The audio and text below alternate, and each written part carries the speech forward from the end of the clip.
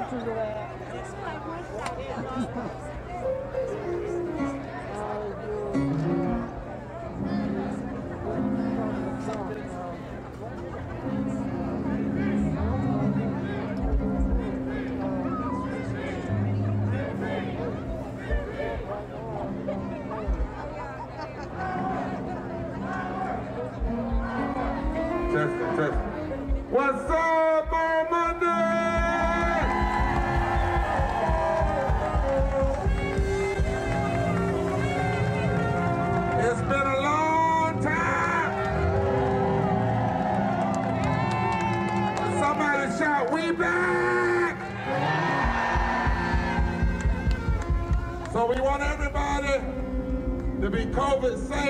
Crunch up too close. Everybody behind the stage, we need you to come in front of the stage. Can y'all lift up every sign that's out there so that the whole,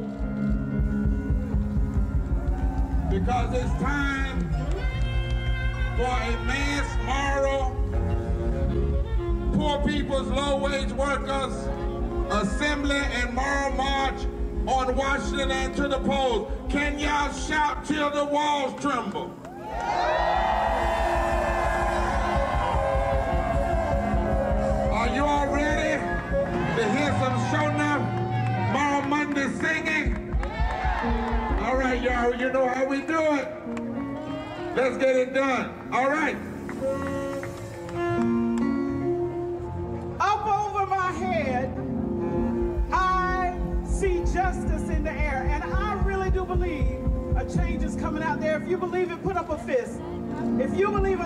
coming out there. Come on and sing with us.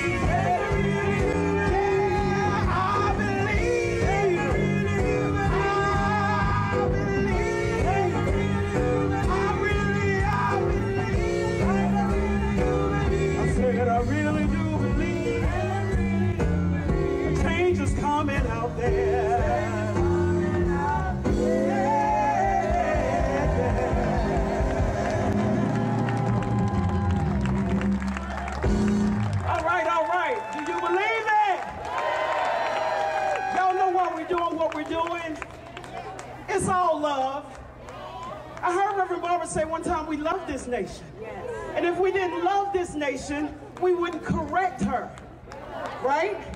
And so that's what we're doing. We're correcting her in love.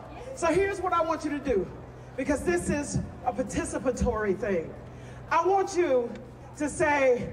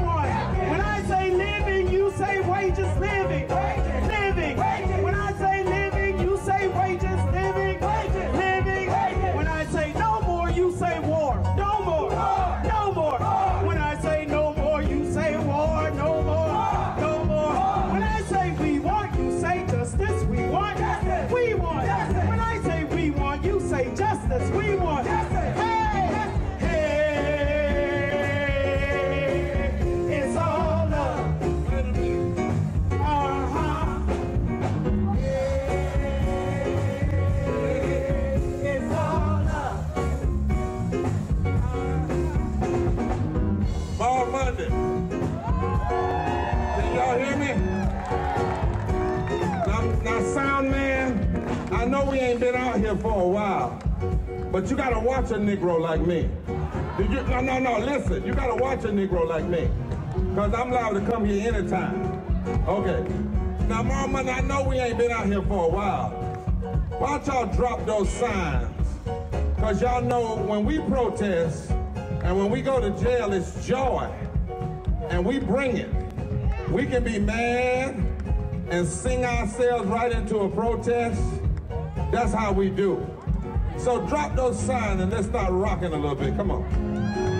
Come on, let's start rocking. Now put those hands in the air, clap. Come on, come on.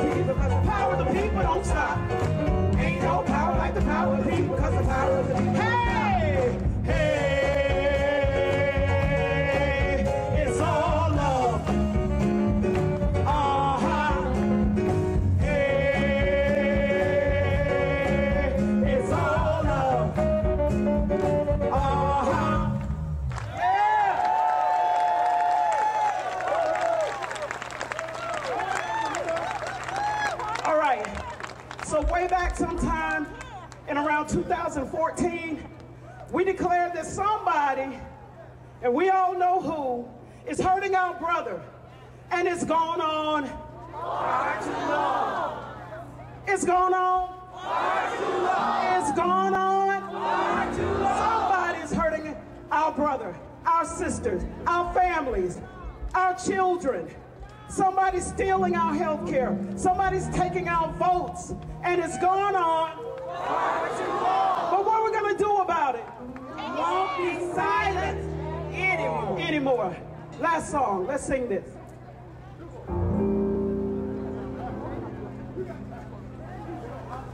Oh, somebody's hurting my brother. And it's gone on far too long. Yes, it's gone on far too long.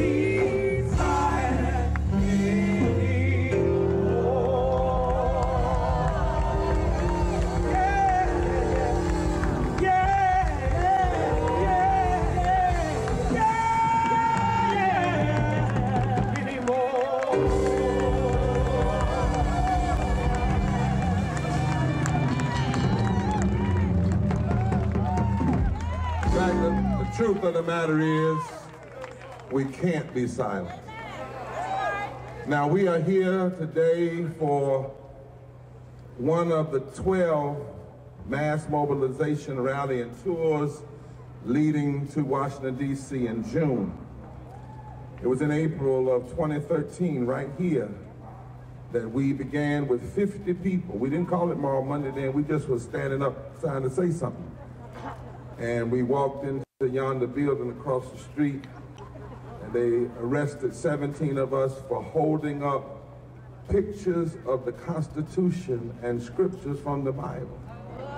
It wasn't so much my arrest, it was the arrest of one lady who was had cerebral palsy in a wheelchair. And they arrested her, that time the extremists in the General Assembly. And little did they know that that 17 would turn to 34, and that 34 would turn to 68, and so forth and so on until a mighty movement began across this nation. Tonight we're in two places at one time. My dear sister, the Reverend Dr. Liz Theoharis, is with folk in Wisconsin, and they are starting uh, right. We're going to leave here and go live there. And so the first thing we want to do is certainly say to everybody be COVID safe. For our team, we need somebody up here that has uh, spray uh, so that whenever we are, the one speaker comes, it can be sprayed. we also need everybody. Y'all know how mama, nobody gets to stay behind the stage and laugh and talk. So y'all need to tell them that over there. Because if we can't pay attention to one another, how in the hell we think we're gonna get the nation to pay attention? So if you if you over there talking, come on now. We have to have a level of movement discipline. Right? No need to be mad if other folk don't listen to you if you don't listen to yourself. And so we want to have that person, whoever's going to be helping, uh, to make sure we're COVID safe. We have a dear sister that's coming uh, to give us instructions on how things will work in terms of translation, because we try to make sure everybody is included. We're not out, we didn't know it would be cold today, but we're not out here in this cold for no fellowship. We might sing, but don't get it twisted. Our hearts are hurting. We are righteously angry because somebody's hurting our brothers and sisters and it's gone on far too long. First going to be impact. We always do that in the, in the Poor People's Campaign, the National Call for Moral Revival, is impacted persons speak first. Religious leaders are to come and do a litany, and then persons impacted directly will come, and then I'm going to come back at the end, as will Reverend Liz, to try to bring it all together and connect it to what's happening because the goal of our movement is not to from DC down, it's from North Carolina, Mississippi, Wisconsin up. It's the people up. Right? So at this time, would she come?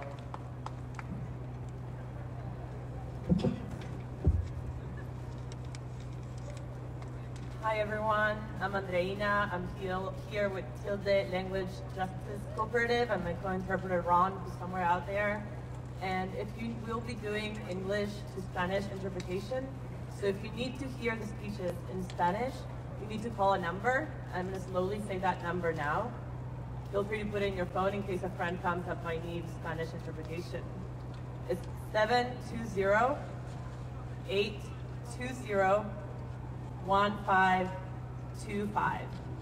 720 820 1525 if you want to hear the speeches in Spanish. I'm going to repeat this in Spanish now. Hola, mi nombre es Andreina y estoy aquí con la cooperativa de lenguaje Tilde y mi cointérprete Ron, que está por ahí en la audiencia. Si quieren escuchar eh, las palabras que van a decir hoy en español, pueden marcar al número que voy a decir ahora lentamente y vamos a estar proporcionando interpretación simultánea al español.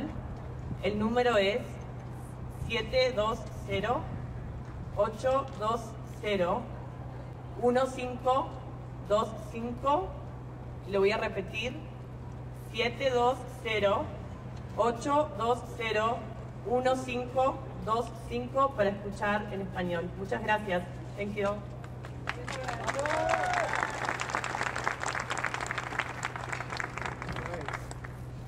Hello, Monday. Rob Stevens, uh, Deputy Director for June 18th, and uh, thrilled to be here with all of uh, you family for this important uh, movement moment. Uh, at this time, we're going to invite two of our faith leaders, our prophetic voices in the state of North Carolina, uh, Reverend Dr. Nancy Petty, Reverend Pastor Wesley Morris.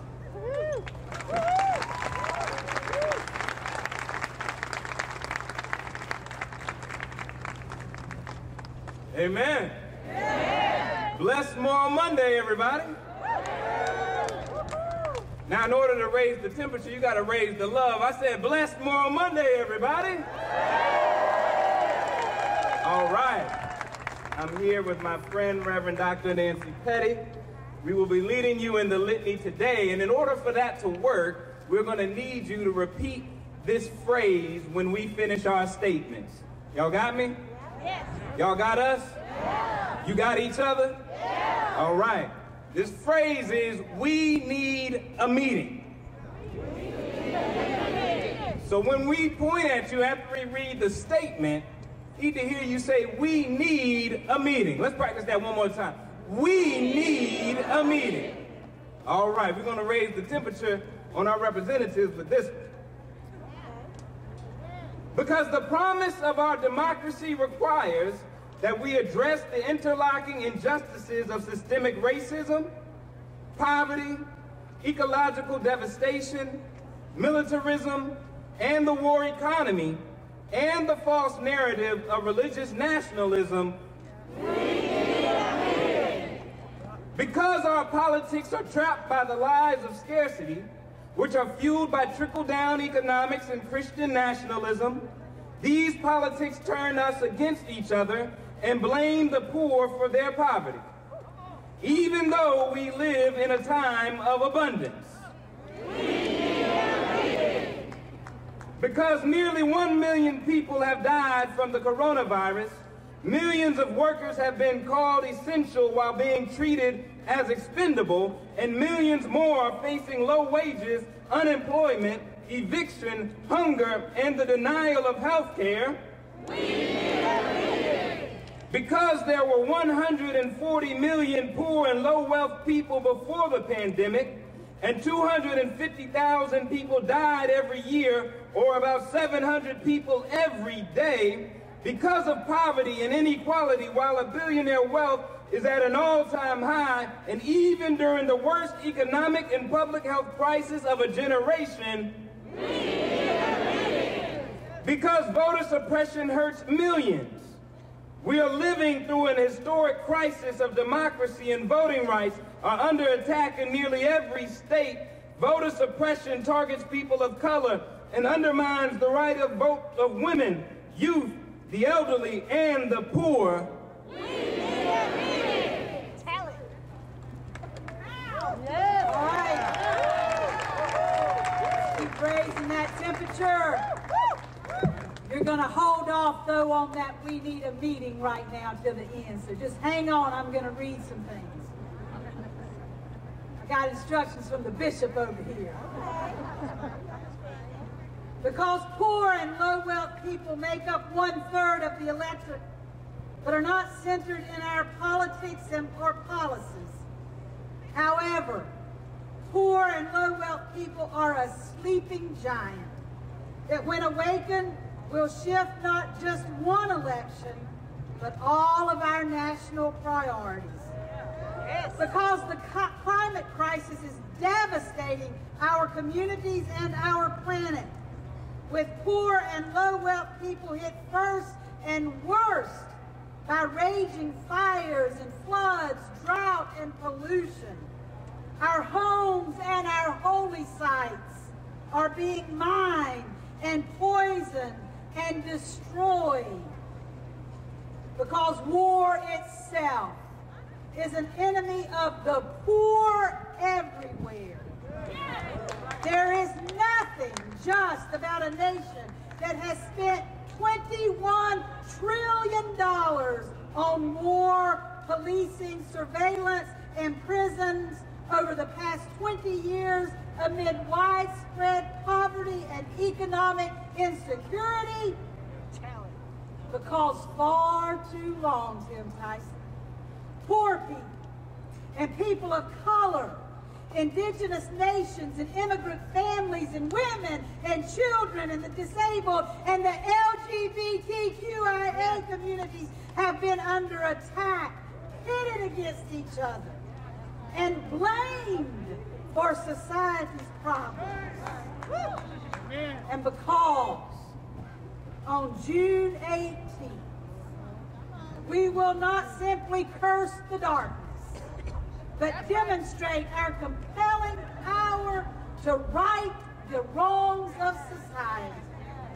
And together, under the leadership of Bishop Barber and Reverend Theoharis and others, we must bring about a third reconstruction to realize the nation we have yet to be. June 18th.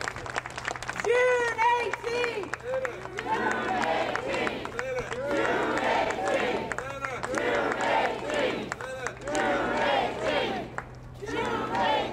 Say mass. Come on, mass. Poor people. Low wage. Workers. Assembly. And moral. March. On Washington. And to the polls. And to the polls. Thank you, Brother Reverend Wesley. And Reverend Dr. Nancy Petty. But we promised on that day that the stage will never be about people speaking for people. It'll be about people speaking for themselves. The only way you can change the narrative is you got to change the narrators. We've said that even to president and others, you can't pass plans and then not allow the people who you claim you're passing the plan for not to talk about why the plans need to be passed. Otherwise, it just becomes a conversation between the politicians, and that ain't gonna never turn out right. So today we have impacted persons, and we have one addition, Reverend Curtis Brown. I know he's a reverend, but he wants to talk specifically about how he was impacted, and you might not think it, right? Uh, and how he says if I was impacted, what in the world is happening to people who didn't who didn't have a church like I have or didn't have the resources I have. And so these persons are coming from South Carolina, from Virginia, from North Carolina. By the way, this is not just North Carolina. It's North Carolina, Tennessee, Virginia, and South Carolina. Somebody give it up. And each of them are going to take two minutes and talk about being impacted and then say why they are mobilized. And at the end of their thing, we've asked across the nation that people not clap, but instead shout. Somebody's been hurting our people, and it's gone on far too long, and we won't be silent anymore. Practice that. Say, somebody's, somebody's been hurting our people, hurting our people. and it's gone on far too long. Far too long. And we won't be silent, won't be silent anymore. anymore. And y'all, if you're anywhere around near the mic, if you would keep that going at the end, at the end rather than hand claps, we want to shout that so that people, by the way, we have thousands of people online from all over the country and all over the world right now. Thousands of you have showed up here. So they'll come now in their own way. Shannon Waite from South Carolina, Elisa White from Starbucks, we're in Raleigh, Tim Platt, Amazon worker Sakia Royal, Goldsboro, Reverend Della Owens, impacted by healthcare, Oscar Pineda, immigration and poverty, Sangria Nobles, voting rights, Bishop Tonyia Rawls will come to call for the LGBT community, TJ Thompson, Virginia, Veterans for Peace, Bobby Jones impacted by environmental injustice, and then Reverend Curtis Brown will come in that order and share with us. Say, somebody. Been hurting our people, and it's gone on far too long, and we won't be silent, anymore. Let me make one, one correction. I just saw Anna in the corner of my eye. I'm getting a little old. I wasn't this old in 2013. But I know that the, the tri-chairs want to come and say why they are mobilizing and recognize the church and say hello to all the other, there are 37 states now that have coordinating committees that weren't existent two and a half years. We've been working, y'all, building from the bottom up. So y'all come first and say as tri-chairs you all giving everything you have to mobilize and then after them, Sister Shannon Waite will start us.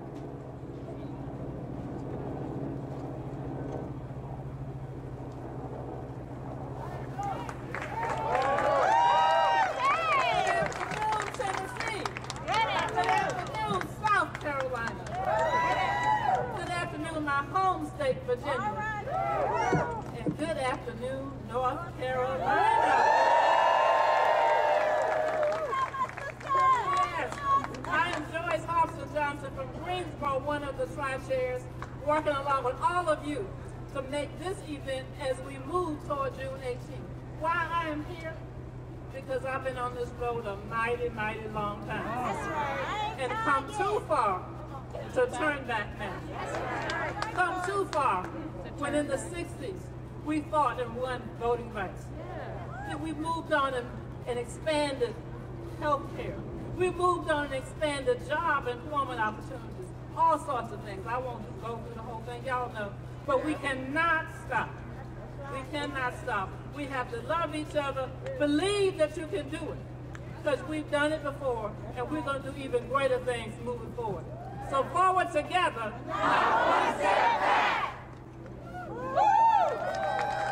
Buenas tardes. Good evening. I'm Ana Ilarraza Blackburn. It is a real honor to be back home with Moral Monday. It's a homecoming. We want you all to get because we have issues that we have to address. And it is because of those issues that I stand before you and organize and mobilize. So we want you to remember to do more. Mobilize. Organize. Register. Educate.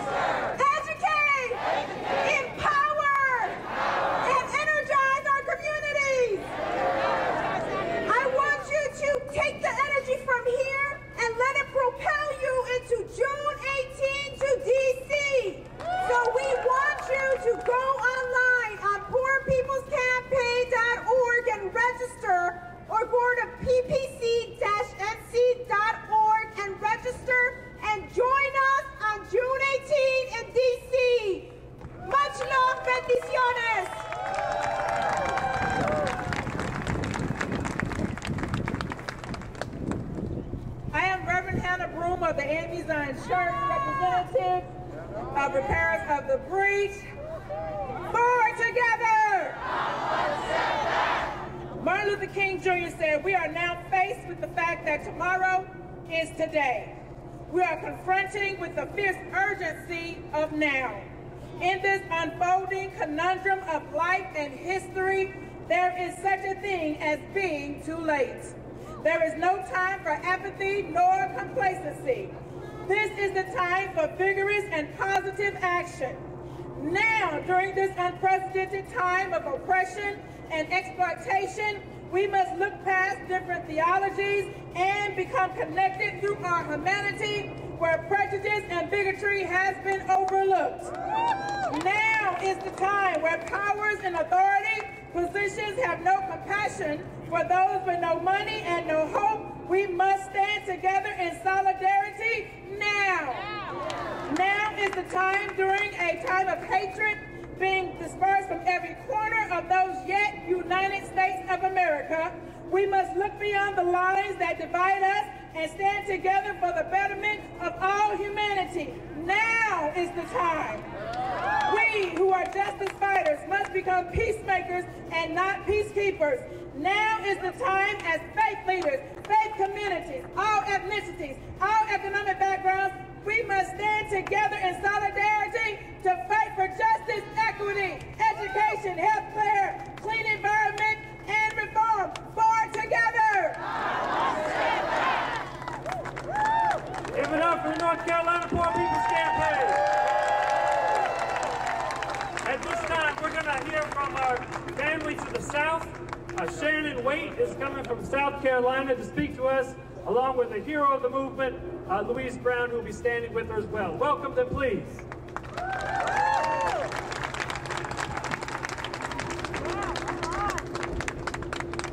Last year, I was suspended from my job at a Google data center in South Carolina for discussing wages and for being a member of a union.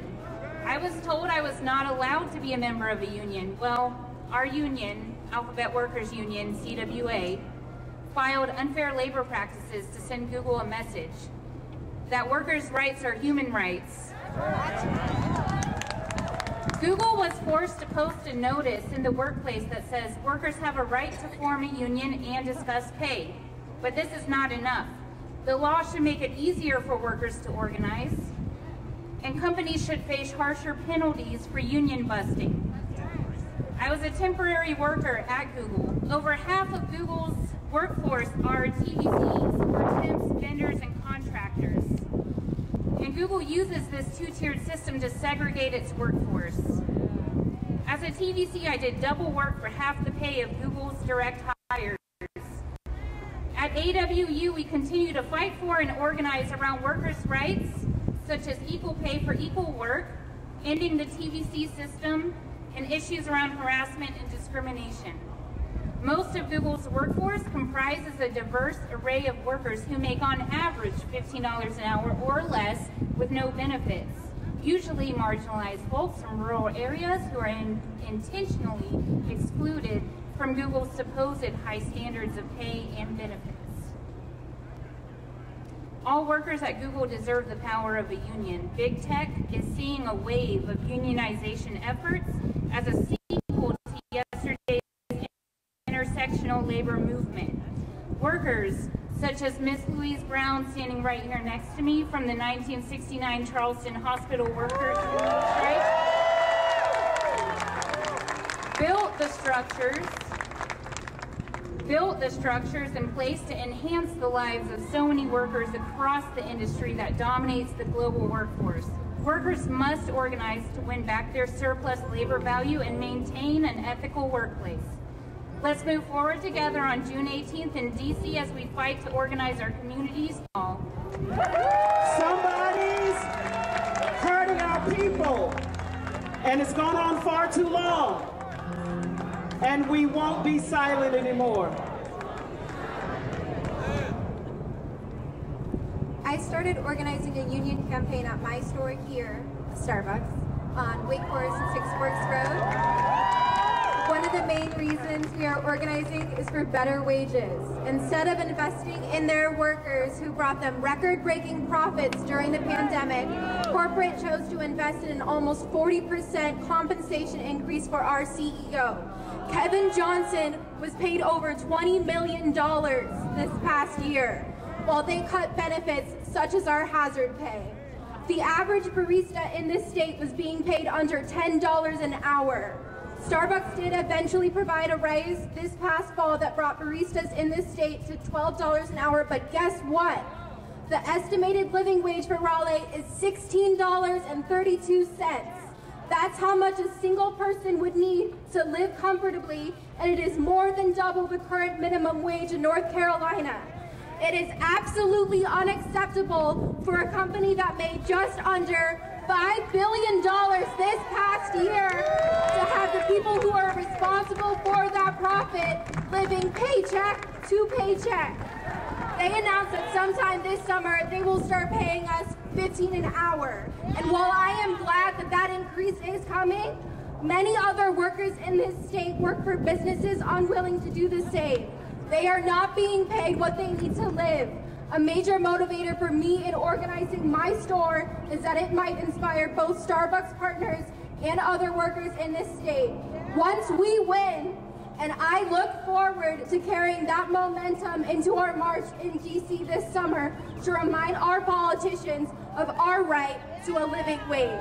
Thank you. Somebody's hurting our workers. And it's gone on far too long be silent anymore. And I understand that y'all want to clap. I do, I really get it. But when people are talking about their pain, it ain't nothing to clap about. If you're hurt, what it, what it is something to do is shout about. So if somebody tells you that their pain and people are not paying them, when they get at the end of that, if we would join in one chorus, somebody's hurting our people. And it's gone on far too long. And we won't be silent anymore. Every movement must have message discipline. Now, now one thing that y'all can say, we can say about Trumpites and folk, even though they be lying, they will tell the same lie. Over and over and over again. Well, if lie can tell the lie, we can say a truth. So y'all, when soon as that, somebody hurting our brothers and sisters, gone on far too long, we won't be silent anymore. Then if you want to lift up a mighty clap, do that, okay? But make sure we say that so that the whole nation, I just heard thousands more have joined us, so we want to make sure they get a clear message. Amen? All right.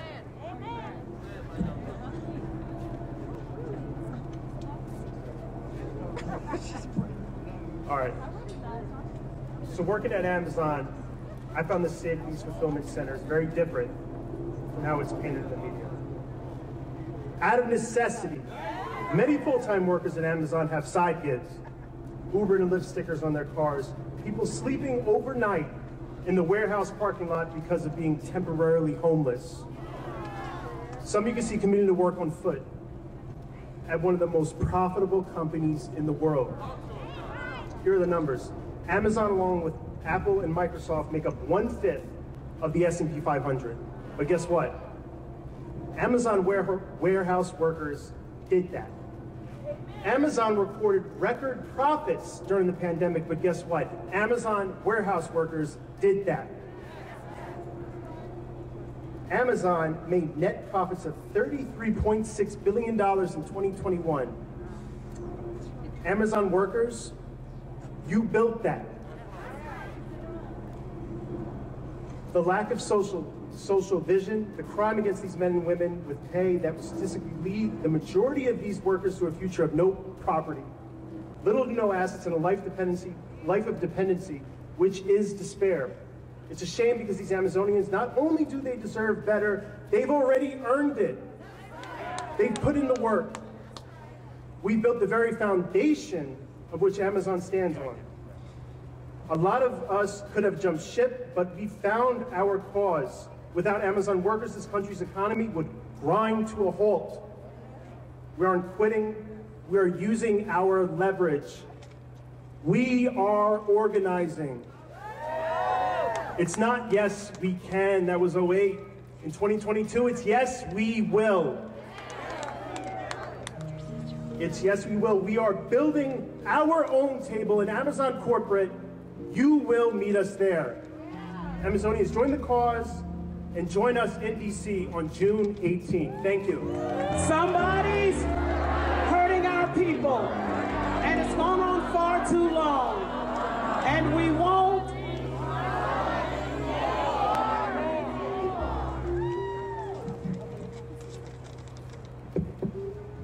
Good evening, comrades.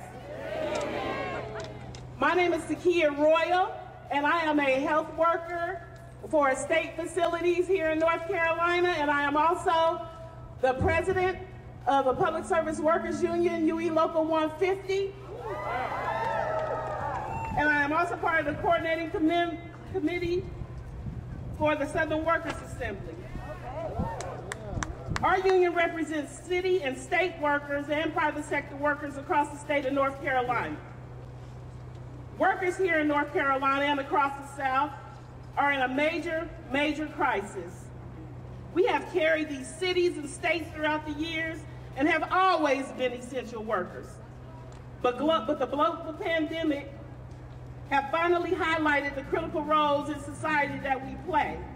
And yet we still don't get this respect that we deserve with a dignified wage and safety on our jobs. I see why major corporations are bringing their companies here to North Carolina. They're getting some of the biggest tax breaks in the country and paying the lowest wages in the country.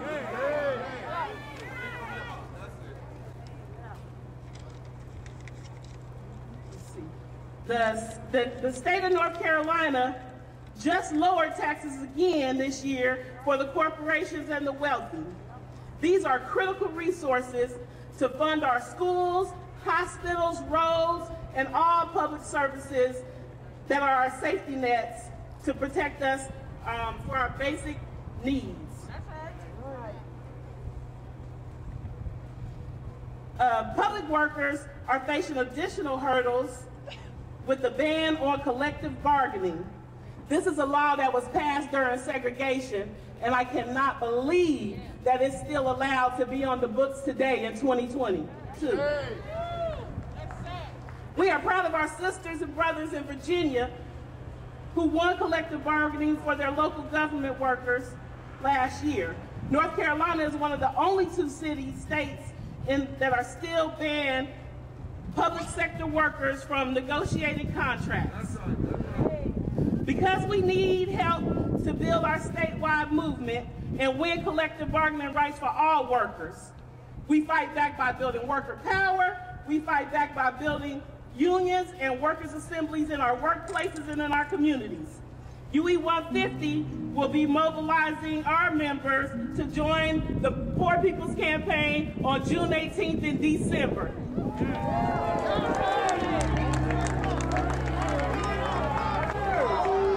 it's on far too long. And we won't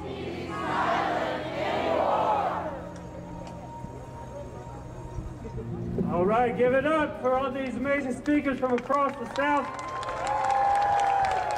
South coming together. We're going to now have Reverend Dr. Della Owens, going to come speak to us now about uh, healthcare and justice in that arena. Then it'll be followed by Oscar Pineda and Sangria Nobles.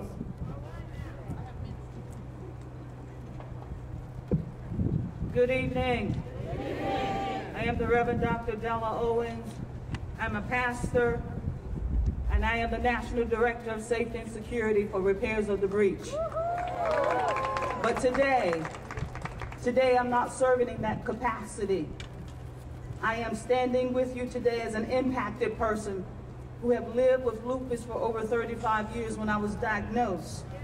And having lived with it, I have lived with insurance companies and corporations having the power to deny me and many thousands of, of others who live with this life uh, disease. And they struggle every day thinking about how they're going to get their medicine. And because of government policies that protect corporations and insurance companies and force people like me, myself, and others with this chronic deadly disease to make decisions whether or not they're going to eat or pay their bills. We cannot afford this any longer. And they literally force us to make those decisions, life choices decisions, between life and death. I serve as the Wake County co-facilitator for the Lupus Support Group. And every month I sit with women who discuss and share with me their stories. In this state alone, 55,000 people live with lupus and 1.5 million across this United States. Those who live with this, the government have not shown mercy to us, but yet there have been mercy shown to insurance companies. And even if you have insurance, they still would deny paying our bills, paying medical treatments that you need when the doctors recommend that you need this treatment. But I understand that there is going to be a meeting in June 18th, and we plan to be there on June 18th. Thank you. Somebody's hurting our people, and it's gone on, and we won't.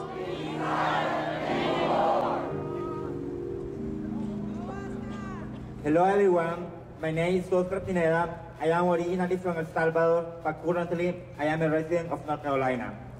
I define myself as a 22-year-old Latino, queer, and undocumented immigrant.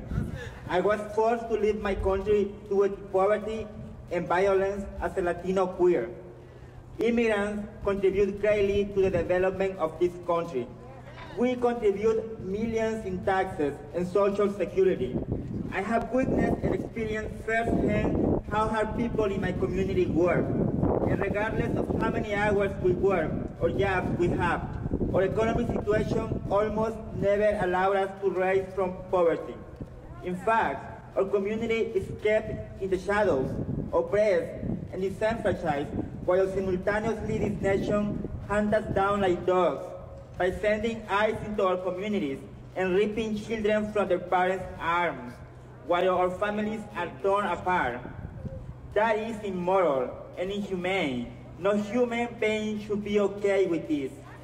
We need an immigration reform and a path to citizenship for the 11 million of undocumented immigrants in this nation and the over 309,000 undocumented immigrants in North Carolina because that is justice for all we have given to this country. I represent El Colectivo en el Centro Hispano, and I am mobilizing my Latino and immigrant community and asking you to join me in Washington, D.C. on June 18 for the mass Poor People's and Low-Wage Workers Assembly. Forward together!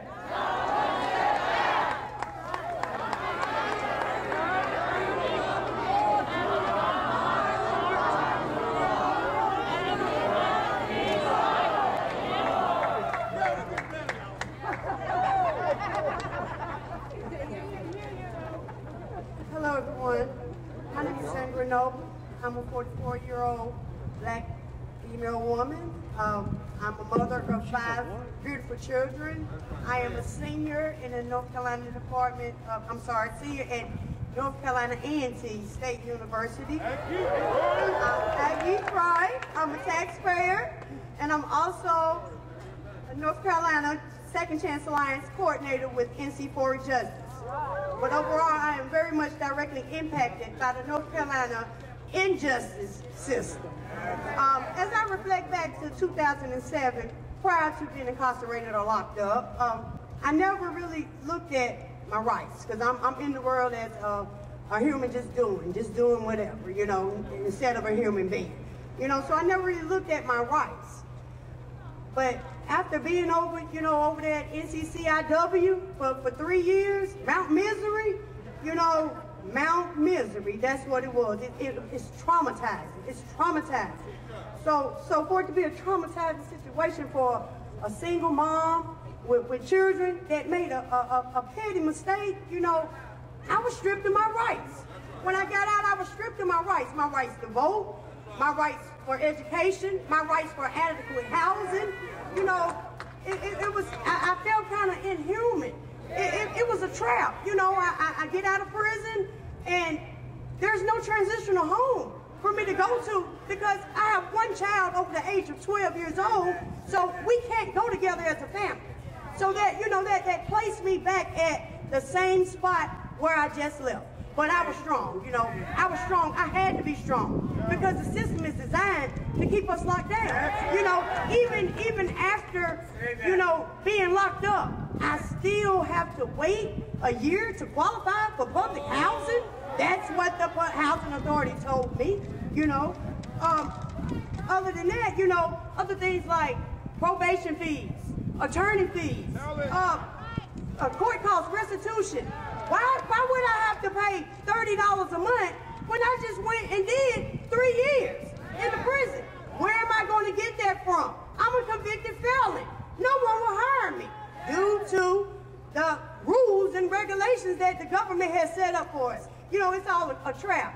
Even upon completing my probation, upon completing my probation, I had to wait two months to get this paper right here well, that says. I got a question for you. That's right. Are you going to join with all these folk on June 18th? Yes, I'm going to join with all these folks. Are you going to mobilize for June 18th? I'm going to mobilize. Are you going to mobilize? I'm going to mobilize. Are you going to mobilize? I'm going to mobilize. Come on, somebody. I, got to let the people know that Forward Justice just sent me a message. 55,000 people just got their voting rights back. That's why I mobilized for June 18th. That's right.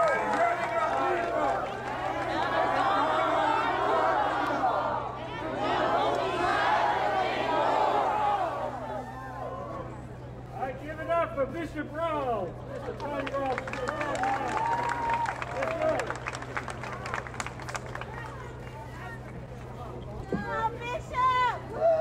Good afternoon. My name is Bishop Tonyia Rawls, and I am an out proud lesbian resident of North Carolina. I thank God so much for my wife Gwendolyn, partners for 23 years, and we live in a state where our rights and our lives are often under attack. I am here today because it is my turn to stand for justice, freedom, and equality like so many did for me. So much blood has been shed and so many lives lost because there are those who believe that they and they alone have a right to the fruit of this land God gave to us all.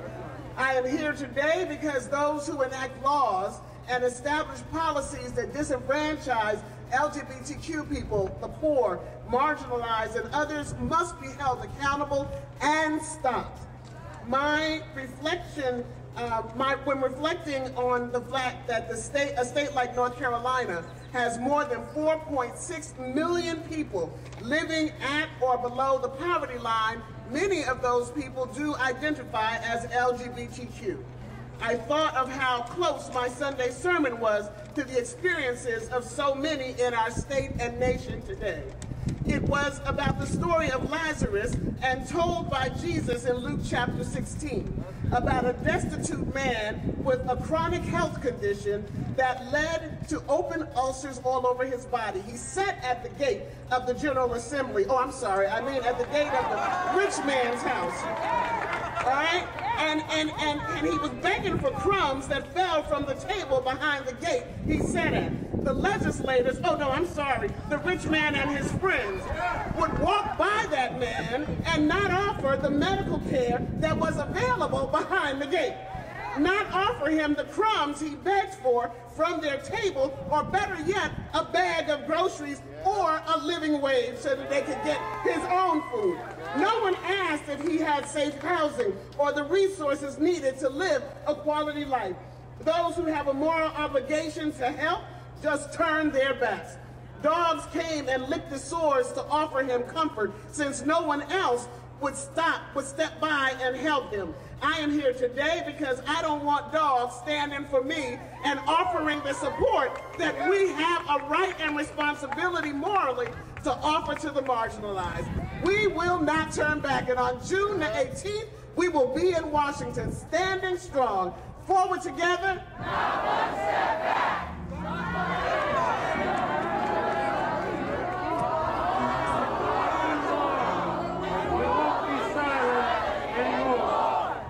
All right, we got just a, a, a, few more speakers here who are going to come. The first is going to be T.J. Thompson coming to us from the great state of Virginia from Veterans for Peace. He'll be followed by Bobby Jones, Deacon Bobby Jones from Goldsboro, North Carolina, speaking on environmental justice, and followed by Reverend Dr. Cardes Brown of Greensboro, New Light Missionary Baptist Church. Come now. I'm TJ from Chesapeake, Virginia, and a veteran for peace. I grew up in a trailer park around, along the northeastern border of the Great Dismal Swamp with our right-wing evangelical church at the entrance.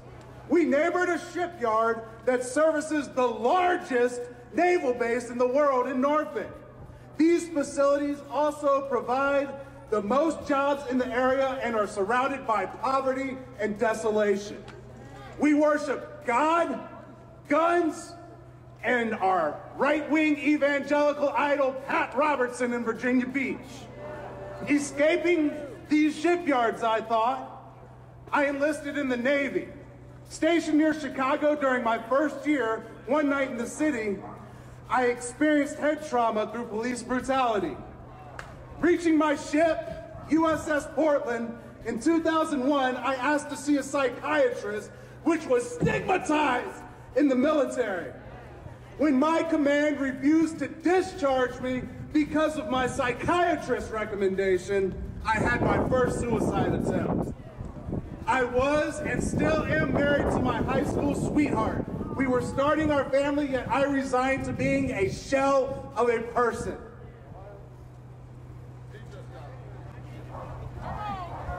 By 2009, I became active with Veterans for Peace and About Face. 2011, I was back on pills and had a second suicide attempt. I learned Buddhist meditation and other ways to cope and live my life. Organizing in the Veterans Peace Movement brought me to the Poor People's Campaign, where my traumas in poverty, militarism, and extreme nationalism came into view. As I conclude, the warhawks swarm seeking further division. We must remain vigilant and avoid becoming their prey. In 2003, off the coast of Iraq, many of my fellow veterans and I participated in a role like Russia and Ukraine today. We must stand in international solidarity with the masses in Ukraine. We must also recognize the importance of nonviolence. With victory our deadline, we must march together to D.C. on June 18th and beyond, obliterating poverty, racism, nationalism, militarism, and ecological devastation locally, nationally, and internationally. Forward together!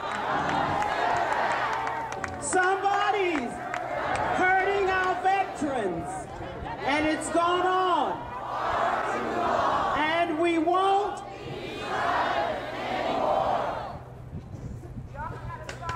Hello, hello. I'm Bobby Jones from Down East Coal Ash Environmental Social Justice Coalition in Goldsboro.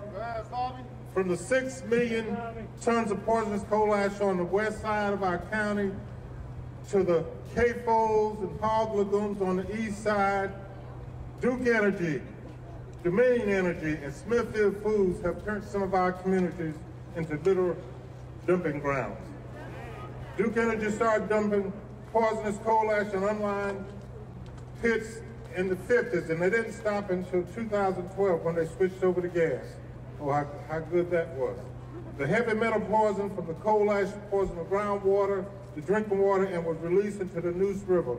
After Hurricane Matthew in 2016, and then Hurricane Florence in 2018, two 500-year floods in less than two years, we realized that we had a problem, and we partnered with North Carolina EJ Collective and the Black Workers for Justice to start the Goldsboro Resilience Hub to prepare and support community members around these climate disasters.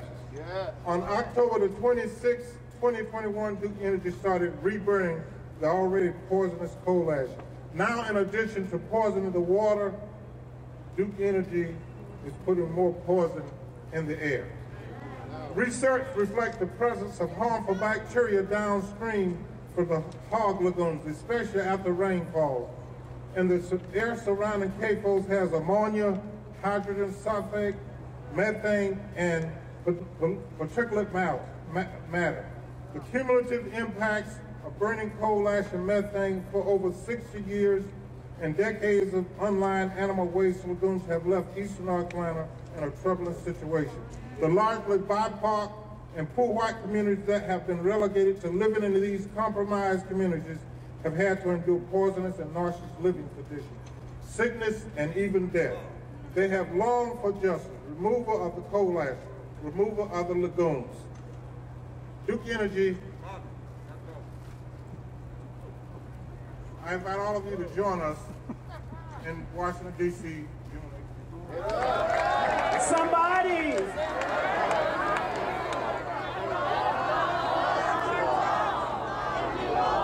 How sweet it is to be in the presence of those who believe in morality. For we are experiencing so much immorality. I'm standing today experientially to tell you about my own experience in being privileged of God to receive a kidney. Yeah. Now, to some of you, that might not mean much. But for those who are out there, and I know you are, who suffer with diabetes and other chronic illnesses, we know that we are always subject to the cruelties that are imposed by those who have really made a decision to selectively decide who lives or dies. I got to tell you, at a moment when I thought my time had come, the grace of God provided a young lady who gave me a life-giving gift. And seven years now, I have been able to continue to declare the word of God because of that generosity. But how can you ever think about being so blessed to receive such a gift without thinking about the millions who never have that? Only because of the cruelties of those who have the power to make it happen. I ask you to join me in the fight to give life to many who have lost hope because of those who are in power to make the decision. I believe that as we get together on the 18th of June, a thunderous voice will be heard of unanimity where we will say, forward together and not one step back. God bless you all.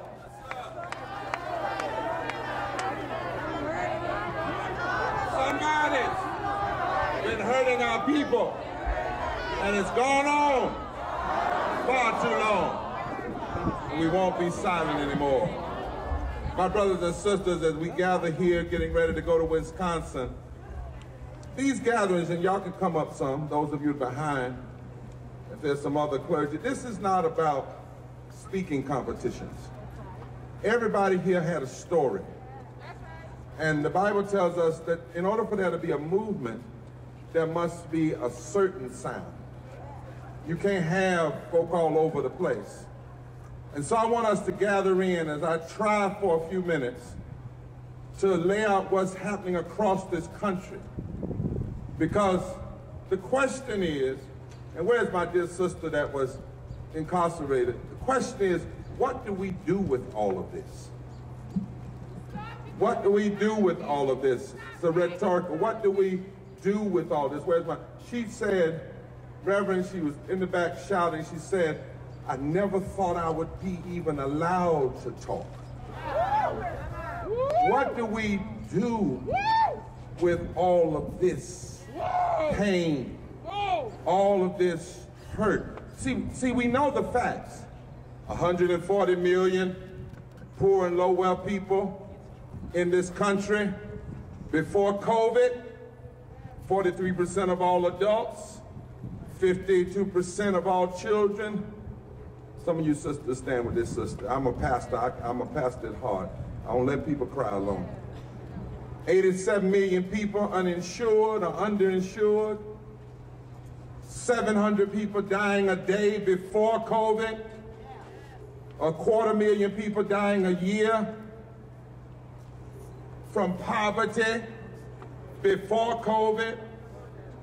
What do you do with this, Bishop Rawls? When you know it, 44% of all people in North Carolina, poor and low wealth before COVID, 4.6 million residents, 53% of our children, 58% of black people, 1.2 million people, 2.2 million white people, 68% of Latinos. What do you do with all of this? 2 million people in this state making less than a living wage, over 50% of the workforce in this state in the 21st century, less than $15 an hour, a million people in North Carolina uninsured. And the legislature with one vote could give 500,000 people health care through Medicaid expansion. But they won't do it because their hatred for Obama. But more important, their dislike for poor and low wealth people. Then we go over to Tennessee 38% of all the people in Tennessee poor and low wealth. 1.3 million people making less than $15 an hour. 670,000 people without insurance. Go to Virginia. 40% of Virginians poor and low wealth. 3.3 million people. 1.4 million making less than a living wage. 710,000 without health care. Go to West Virginia. 750,000 people poor and low wealth, 689,000 of them white, 300,000 making less than a living wage, over 50%, over 100,000 uninsured. What do you do with these stories? What do you do with these pains? The what do you do? That's the question. Stop the And so, wait a minute. I'm finished. You're hollering before you got all the facts. 21,000, 21 million people. 21, excuse me, 21,000 people dying every day from poverty in the world, according to the Oxfam report. Next week, we are releasing a report to talk about facts so devastating that I can't even talk about it right now because the economists are redoing the numbers. Because They say, we can't be doing this to people. And we say, yeah, we knew the anomalies. We knew the, the excuse me, we knew the, the, the stories. But now the data, Al, is saying they're not anomalies. In the Poor People's Campaign, one person that we know who marches with us begged us to allow her to keep marching because during COVID, she lost 21 members of her family in a 30 mile radius. And so next week, we're going to release a report at the National Press Club that says whatever pain Americans have received from this pandemic, poor and low wealth people and communities have experienced more. What do you do when you know that Columbia University did a study, and in that study they said upwards of 60% of the people that died did not have to die. They only died because our systems of care were not more robust and compassionate, and because we did not follow the science. I'm looking for Yara here because I'm gonna need her in a minute. This evening, you've heard what this really means for people. That's what we want the nation to hear. We want the nation to hear herself, the people. Now, in the Bible, the prophets spoke to society at times of gross inequality. And the prophets knew, Reverend Nelson, that there's sometimes that things are so bad, but there's so much cover up. In order for people to get it, you've got to change your language. So in Amos chapter 5, for instance, the prophet says, and this is the message translation for my rabbi brothers and sisters, people hate this kind of talk. Raw truth is never popular, but here it is. Things look good on the outside, but you run roughshod over the poor. You take bread right out of their mouths. And because of that, you're never going to really move into the luxurious houses that you built in the nation. God told Amos to say, I know precisely the extent of your violations and the enormity of your sin. Listen at this. This is 20, over, oh, this is in, in 2600 BC. Uh, uh, the, the of your excuse me, 600 BC. You bully people and you take bribes, Tim, Tim, on the right and the left. Oh God, that's in the Bible. It says some people have started thinking that justice is a lost cause and evil is epidemic. But then God says to Amos, I need you to seek good and not evil. And since this nation says God is your best friend, start acting like it in your public policy. I need some folk that will hate evil and love good and then work it out in the public square. Then verse 16 says, God says, I need a remnant of folk. I don't need everybody. I don't need every family. But I need a remnant that'll go in the street and cry loudly and fill the malls and the shops and will weep in public and declare, not me, not us, not now. I need a remnant. Somebody shout remnant. That will empty the offices and the stores and the factories and the workplaces. I need a movement that will call people to a general lament and will cry in the public square. And then God says, I want to hear it so loud that I am convinced you don't like what you see happening. Because you know, this ain't, and then God says, and then I'll visit you and I'll help you. But I ain't going to help you till you cry. And I'm not going to help you till you get in the public and cry in the street. You know, Amos sound like Zora Neale Hurston. that great prophet poet of the, of the Harlem Renaissance, when Zora Neale Hurston said, if you smile when people are hurting you, they'll kill you and say you enjoy. Lord have mercy.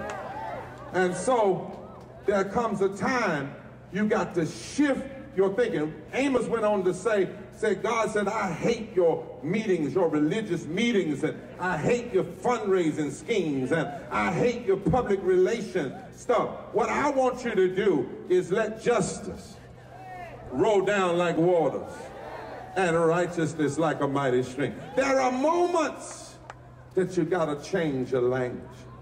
I was reading the other night a writer from the 19th century. Can I, can I say it like I feel it? And this writer said that he came up with a term called social murder. And he says, and this was in 1845, he said that when one individual inflicts bodily harm on another, such that death results, we call that manslaughter. When another assailant knows in advance that what they're going to do will be fatal, we call that murder. But when society places hundreds of people in such a position that they inevitably meet a too early and unnatural death, one which is quite as much a death by violence as by the sword, because it deprives thousands of the necessary things of life and places them under conditions in which they cannot live. The writer says, this too is murder. Just as surely as a single individual killing somebody. But it's disguised. It's a malicious kind of murder.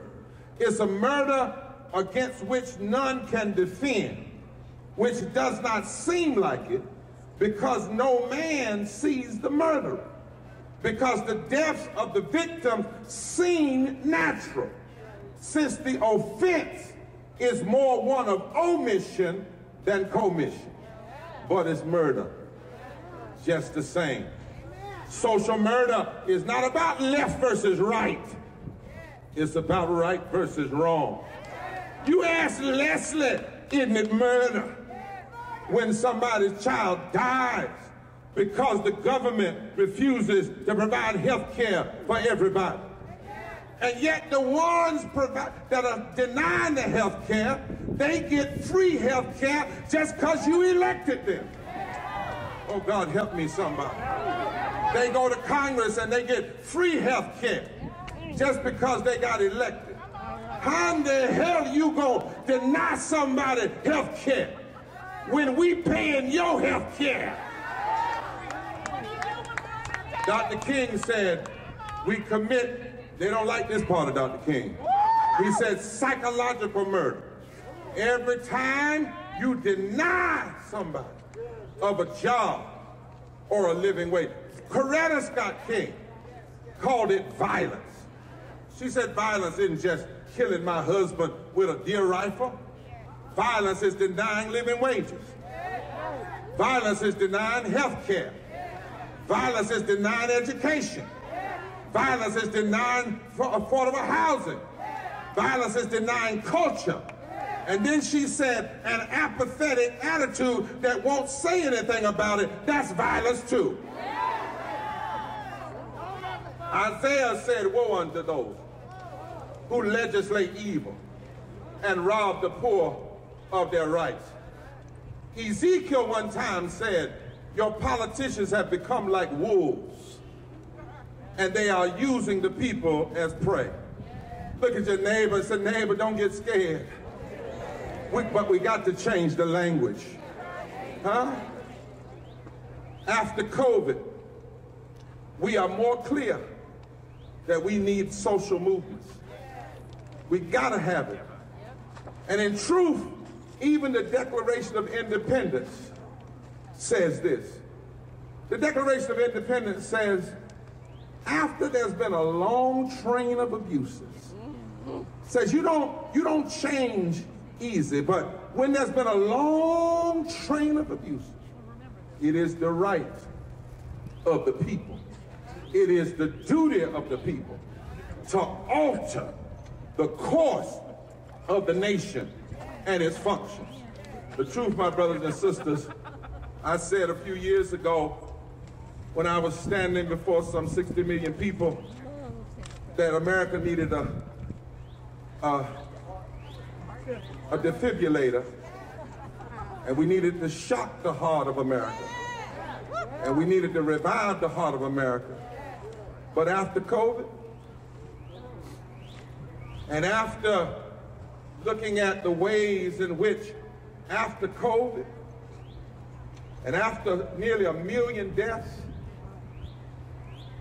and we still can't give people health care, and we still can't give people a living wage, and we still, I'm talking about what they can't do, listen, and we still can't give people what is human rights, what the Declaration of Human Rights in 1948 said ought to be fundamental. We don't need to shock the heart. We need a heart transplant. And the truth is, this ain't new for America. Often down through history, America has needed to have a heart transplant. That's what the 13th Amendment was, a transplant. You can't just shock the heart over slavery, you got the end. The 14th Amendment, transplant. 15th Amendment, transplant. 19th Amendment, transplant. You, you, you can't have a country and call it a democracy and say if you, if you don't have land, you can't vote. If you're not white, you can't vote. And if you, and if you have a different gender, you can't vote. There had to be a transplant. The labor movement of the late 18th, 19th century, and it was a transplant. The second Reconstruction, the Civil Rights Movement, transplant. My point is, sometimes a heart needs more than a shot. Sometimes you don't revive an old heart. You got to take out the stony heart. Two years of this pandemic have proven it. And so, my brothers and sisters, we've sit here we've watched politicians write policies these two years that allowed corporations and, and, and billionaires to make $2 trillion in less than 20 months. Y'all hear what I said? Billionaires' income has increased 70%, while 8 million more people fell into poverty. Do you hear what I'm saying? Even after COVID, we call people essential workers. Before COVID, they were service workers. We call them essential workers and then treated them like they were expendable and sent them out to work and they were the first to get sick, the first to die. We're finding out every day it wasn't all accidental. So we got to have a fundamental change because when the body is dying, you got to change the heart. And we must be clear for this kind of change, an insurrection motivated by white supremacy and greed can't change the heart. Hate and violence Joyce can't change the heart. You start out with hate, you try to do hate, you're going to kill everything. Neoliberalism that says if you help the middle class, everybody else going to be okay, can't change the heart. Trickle down economics that says give all of it to the top and they'll let a little come off the bottom. That's not going to change the heart. You're going to change the heart. You got to have a movement. And so I went to a friend of mine who's a heart specialist. And I asked him about the procedure to change hearts. And he said, Barber, to change a heart, you got to do several things. You got to know how to do it without killing the body. He said, every, and that's why every heart transplant begins with a serious meeting where you bring everybody together. Because you also got to figure out if the body can even take a heart transplant.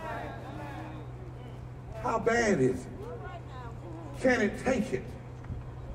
And when you do it, you got to have everybody. Mm. Because you can't transplant a heart by yourself. There's got to be a meeting. And I've been watching Bishop Rawls over the last few months, how the stories in the Ukraine, the more people see it and hear it, the more people are coming together. And what that says to me is, if folk could just see in America what's really going on, if people could hear what's really going on, then just maybe the body could take a transplant and we could see change. And so that's why we gathered here tonight. That's why we've been crisscrossing the country. That's why we're lifting up the voices of the people. That's why they're calling for a mass poor people's uh, low wage workers assembly, tomorrow march on Washington and to the polls June 18th. That's why we understand it's not a day, but a declaration. Somebody's got to hear about all this murder. Somebody's got to hear about all these pain, this pain. We've got to break the heart of the nation until the nation wants to accept a transplant of the heart. We got to do it. And after I talked to my friend, as I was leaving, the Holy Ghost got me.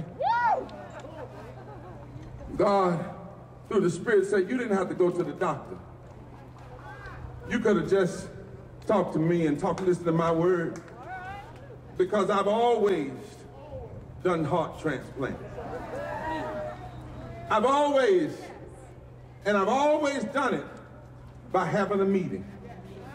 Everywhere you look in the biblical history, where there was change, there was a meeting. Starting out in the first book of the Bible, everything was void and without form. But then it says that they said, let us make a creation. That was a meeting. Down at the Red Sea, when Pharaoh thought he had them hemmed up, they had a meeting. And when they met right and got right, the sea parted. And they went through on dry land. And Pharaoh ended up drowning. But they had a meeting. David had a meeting with five rocks, one for Goliath and four for the rest of his cousins. Because every now and then you got to have a meeting. Over in the valley of dry bones, it looked like nothing could happen. But then there was a meeting. God said to Ezekiel, preach to the bones and watch them come together. And then I'll put spirit on them and they will be the hope of the nation. In the fiery furnace, there was a meeting. Shadrach, Meshach, and that bad Negro. But then there was another one that came in the meeting. When Jesus fed the 5,000, there was a meeting. When Jesus died on the cross, there was a meeting. And the prophets of old got up. There was a meeting at Pentecost. Well, you say, well, I don't, I don't deal with the Bible. Well, come here then. And let's talk about history. In 1852, after the Dred Scott decision, the abolitionists had a meeting. Said we got to not only talk about slavery, but we got to end slavery. Sojourner Truth and Lucretia Marx helped form the women's liberation movement, and they had a meeting. There was a meeting between the social gospel movement in the late 19, 18, 1800s, and they asked, what would Jesus do? And when they met, the preachers and the labor movement came together. In the 1920s, there was a meeting called the bonus marches. And folks started meeting and demanding that they have the wages that they deserve. There was a meeting of black, white, Jewish civil rights lawyers in the 1950s that took down Jim Crow and made separate but equal un uh, unconstitutional. There was a meeting at the lunch counters in Greensboro. There was a meeting on the campus of Shaw University and Bennett College and North Carolina Central. There was a meeting in Birmingham, Alabama. Started out with 40 people. But by the end of it, uh, uh, Bull Connor was taken down and civil rights was lifted up. There was a meeting in 1965 in Selma. And they marched from Selma to Montgomery. And a, and a president that said he wasn't going to sign a voting rights bill ended up signing a voting rights bill. When Cesar Chavez was allowed, the farm workers had a meeting. All these meetings were designed to change the heart of the nation. And I'm finished, but when my tradition, we used to sing something, got a hold of me. Oh, yes, it did. I went to the meeting one night, and my heart wasn't right. Something got a hold of me. And I stopped by to tell you, it's time for a meeting. Children got to be saved. It's time for a meeting. Do I have a witness here? We got to change this nation. It's time for a meeting. Sick folk got to be healed. It's time for a heart transplant. It's time for a meeting. Low-wage workers got to be paid. It's time for a meeting. Housing for everybody. It's time for a meeting. Save the environment. It's time for a meeting. Indigenous people got to be treated right. Even on the reservation, it's time for a meeting. Immigration reform, it's time for a meeting. Treating my LGBTQ friends right, it's time for a meeting. Voting rights must be expanded, it's time for a meeting. We got to stop spending so much money to blow up the world and spend more money to build up the world. It's time for a meeting. We got to stop using religion for hate and start using religion for love. It's time for a meeting. Are you ready for the meeting? Are you organizing for the meeting? Are you going to get on the bus for the meeting? Are you coming to the meeting? Every state, are you going to be there for the meeting? I don't know how I'm going to get there. I'm getting older now. My knees are hurting. This disease is trying to take my life, but as long as I got breath in my body, I'm going to the meeting. Are you going to be there at the meeting? And God says, if we have a meeting, I'll help you. I'll bless you. I'll give you power to change this nation. I'll give you power to take out a stony heart and put in a heart of flesh but first, but first, but first, there's got to be a meeting. Do I have a witness? Are you coming? Are you going? Are you organizing for a meeting? Somebody say yes. Yes. Yes. Yes. Yes. Be the meeting.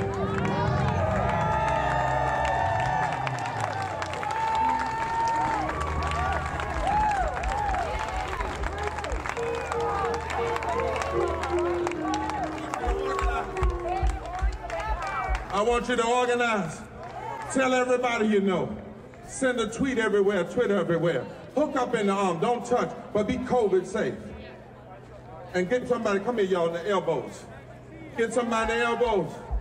Be COVID safe. But get somebody the elbow and say, you better come on here. If I got to drag you, we're going to have a meeting. We're going to have a meeting. America's going to be better. We're going to have a meeting. And the meeting is going to signal a movement. And we're not going to stop until there's a transplant of the heart. Raise your sign, raise your hand if you're going to organize. Raise your hand. Where the music at? Raise your hand. Raise your, your signs. If you're going to use those pledge cards. Raise your signs. If you're going to tweet everybody you know. If you're going to email everybody you know. If you're going to call everybody you know. Raise them high. Raise them high. It's time to go to the meeting. Come on and wave them so everybody can see them. Come on here, come on here. There's a meeting up in Washington. I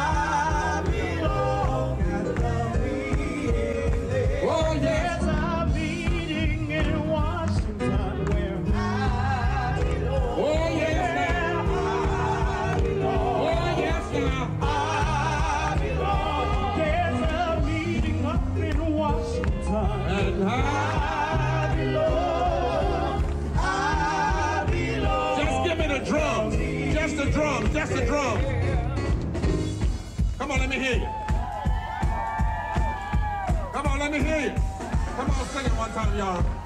Come on, yeah. There's a meeting. Oh, there's a meeting Everybody. in Washington where I belong. Oh, yes. I belong. Oh, yes. I belong. There's a meeting up in Washington. I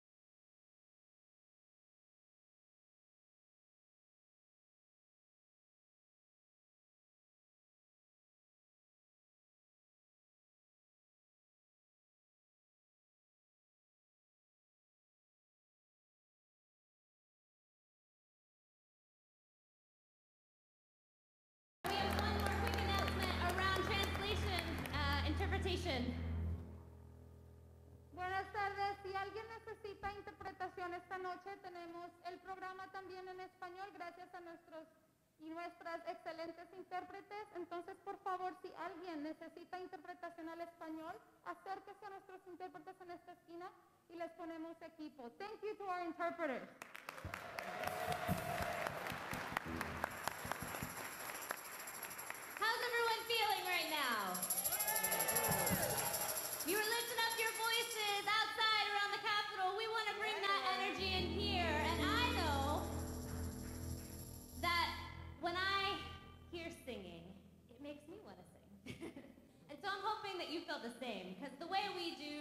Music in the campaign is that we need all of you, everyone in this room, to lift up your voice and to sing with us. Because we need not only the folks here in this room to be filled, we need all the folks out on those streets, all across Wisconsin, all across the Midwest, all over the country to be filled with the spirit that we are bringing here tonight. How do I? How are you feeling about that? Yeah. Now, in order to do that, we need a few more of you. What we like in the music, in the movement, is a justice jump-in choir that we're going to build right here tonight. And so, who are my sopranos in the room? Any sopranos that want to come sing with me? I feel everyone being real shy, right? Right now, right, right now, right? Yeah. Just a few people. We need just the energy of your willingness to be up sing. Thank you, Elizabeth.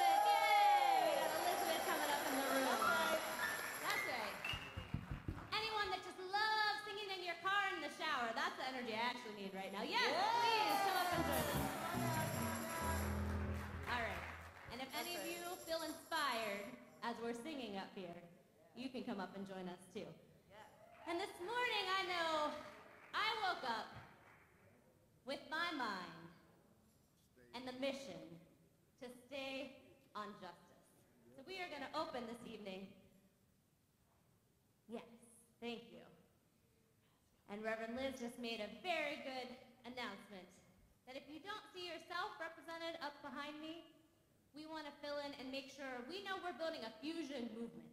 That's right. So we would love to have a few more folks come up here and to make sure that you see yourself represented up on this stage. And so if you don't see someone that looks like you or resonates with you, we would love for you to come up and join us. And I got a beautiful collection of voices up on the stage already. Y'all know this song? I woke up this morning with my mind. Stayed on freedom, on justice. All right, here we go.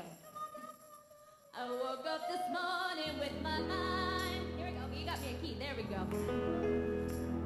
I woke up this morning with my mind.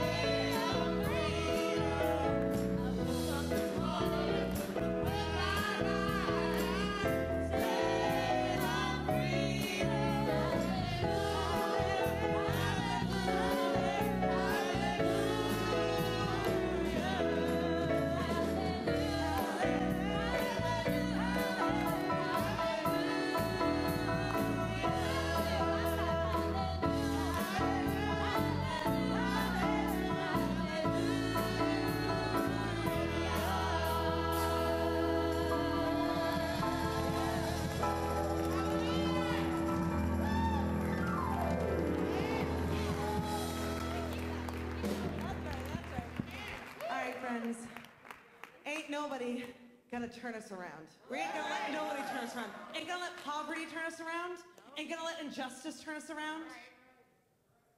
So, let's sing this song.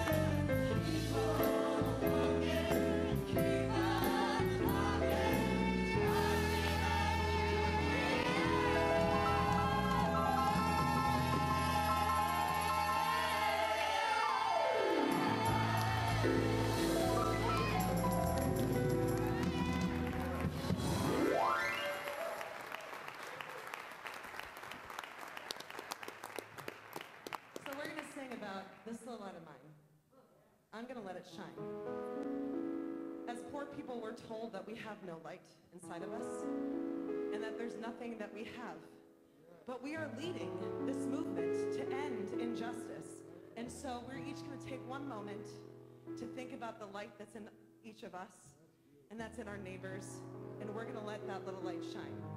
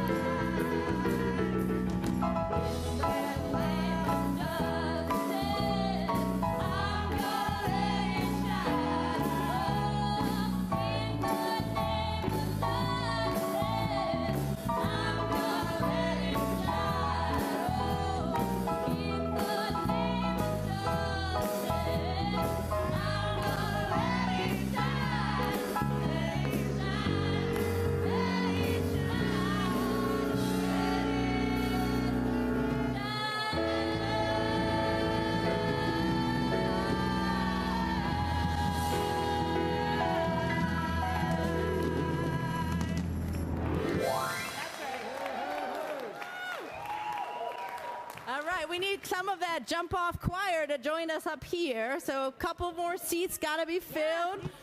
please join us, please join us. And welcome. Welcome to this mass meeting where we're readying ourselves for a mass poor people's and low wage workers assembly, a moral march on Washington and to the polls on June 18th, 2022. Are you ready, Wisconsin? Are you ready, Wisconsin? Are you ready, Wisconsin? We want to welcome some of our Poor People's Campaign siblings from Illinois, from Iowa, from Indiana, from Minnesota, from Ohio, and from all across this great state and nation. My name is Reverend Dr. Liz Theoharis. I am a daughter of Wisconsin, a proud Milwaukeean, and it's great to be in this state with you all today.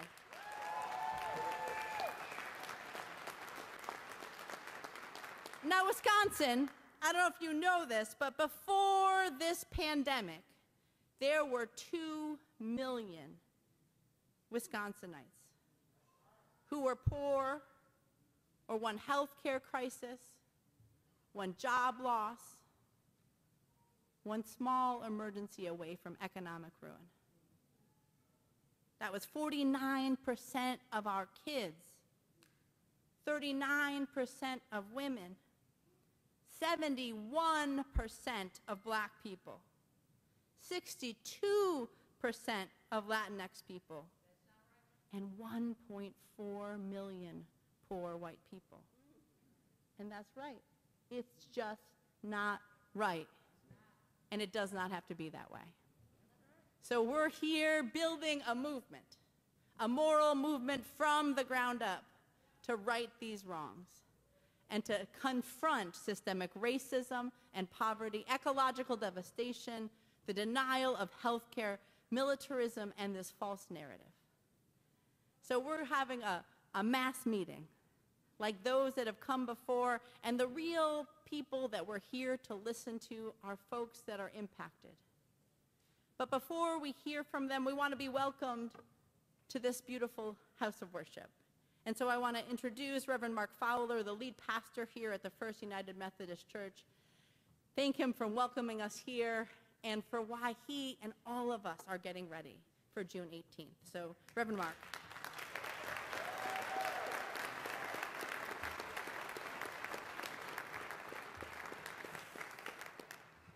Well, I hope uh, we begin that all of you will join me in uh, welcoming uh, Reverend Liz Theoharis home and that you consider this your home for this evening. We're glad you're here. As you came in uh, tonight, you may have noticed that on the sign outside uh, it says downtown for good.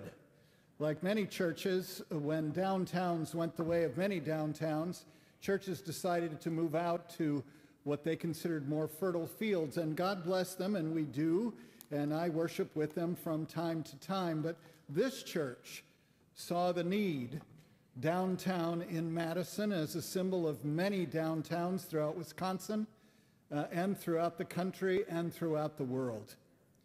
That it was a downtown that was filled with people that were hidden in the shadows and not recognized by those up the hill, or enough of those up the hill that the numbers that Reverend Dr. Liz talked about continue sadly to increase.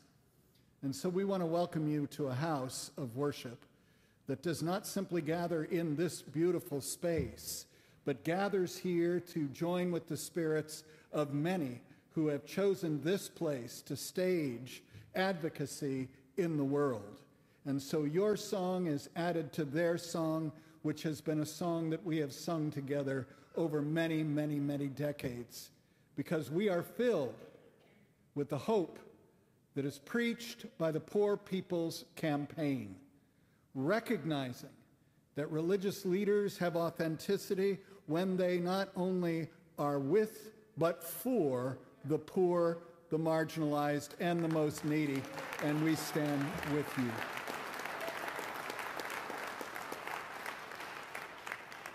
And the more that we stand together, the more that evenings like this are not only filled with determination that this must end and a better world must come, but in the meantime, in the meantime, did you see yourselves what a reunion! What a reunion amongst friends that we have not met yet. And so we're glad that you chose this house to come, a house that is attempting to live into our creed that all means all.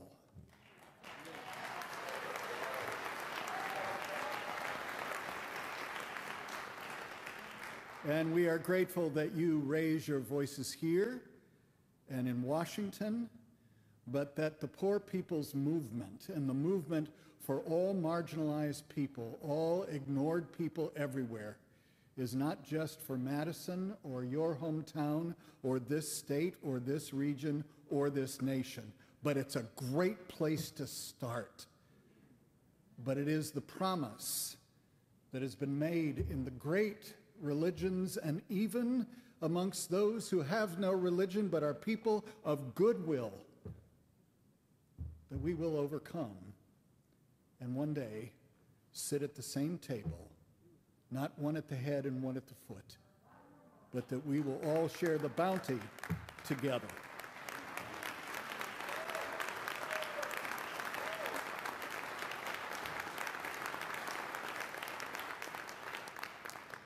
Just one final word, uh, and I want to thank the Poor People's Campaign for choosing us. But I would be remiss if I didn't thank my good colleague, Rabbi Bonnie Margulis, who chose us. Would you stand, Bonnie?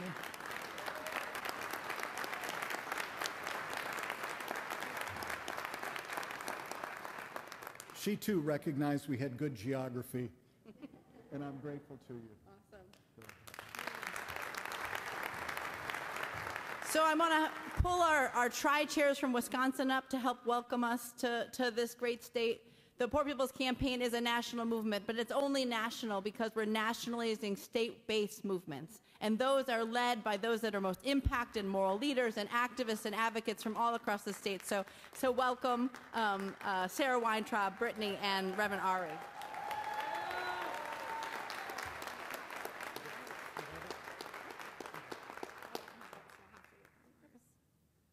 Good evening, everyone. Thank you all so much for joining us here tonight. My name is Brittany Reamer. I'm from Wausau, Wisconsin. I'm Sarah Weintraub from Milwaukee. Reverend Ari Douglas from Janesville, Wisconsin.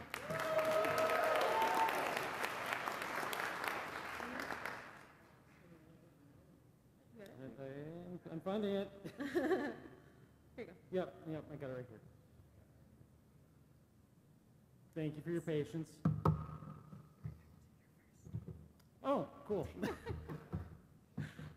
Hi, so welcome everyone to the into Madison, Wisconsin stop of our mobilization tour on the road to the Moral March on Washington, D.C., and to the polls, and on June 18th to D.C.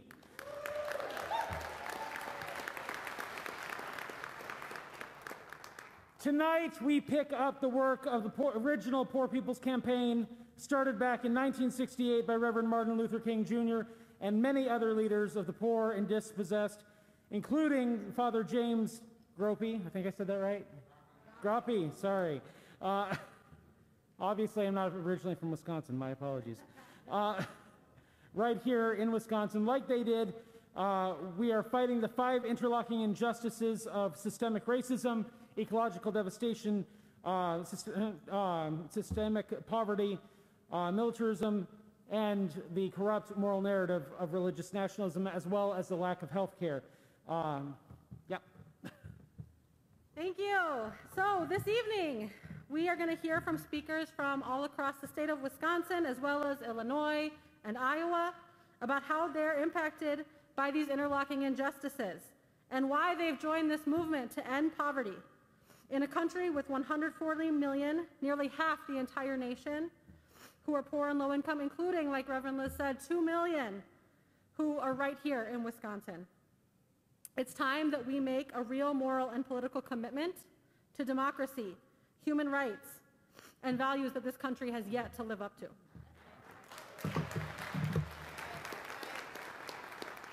And to do so, we must build a powerful movement. That's why we are here today, because we're mobilizing and organizing right here in Madison, in Wausau, in Milwaukee, in Beloit, in Green Bay. We're coming together and building a movement from the North Woods to the Fox Valley, from the driftless region to our big cities. And we will keep building it tomorrow and the next day and every single day after. So, let's move forward together and not one step back to DC on June 18th and to the polls this spring and fall and beyond. That's right. Let's hear it for the leadership of the Poor People's Campaign here in Wisconsin. Let's hear it for everybody that is gathered here tonight. Let's hear it for the folks that are going to testify and come before us and talk about our stories and the solutions that we have at hand. Before we hear from folks that are most impacted here in Wisconsin and across other states, we're going to watch a video. We're going to ground ourselves in this, uh, this moral movement that we're building, the way that the rejected are going to lead this justice revival, and then immediately following this, build, the build, this video, the next two voices you'll hear are Mark Denning and uh, Audrey Taylor, uh, who are, are folks from here in Wisconsin who are going to speak um, to, to why we're doing this work and, and why we must keep on fighting towards June 18th and beyond.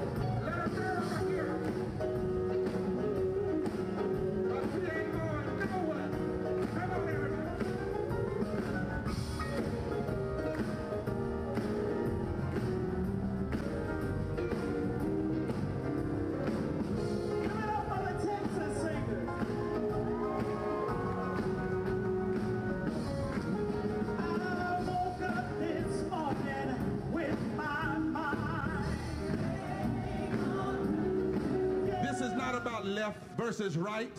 Saving this democracy's possibility is non-negotiable. This is about right versus wrong. And the right time to do right is right now.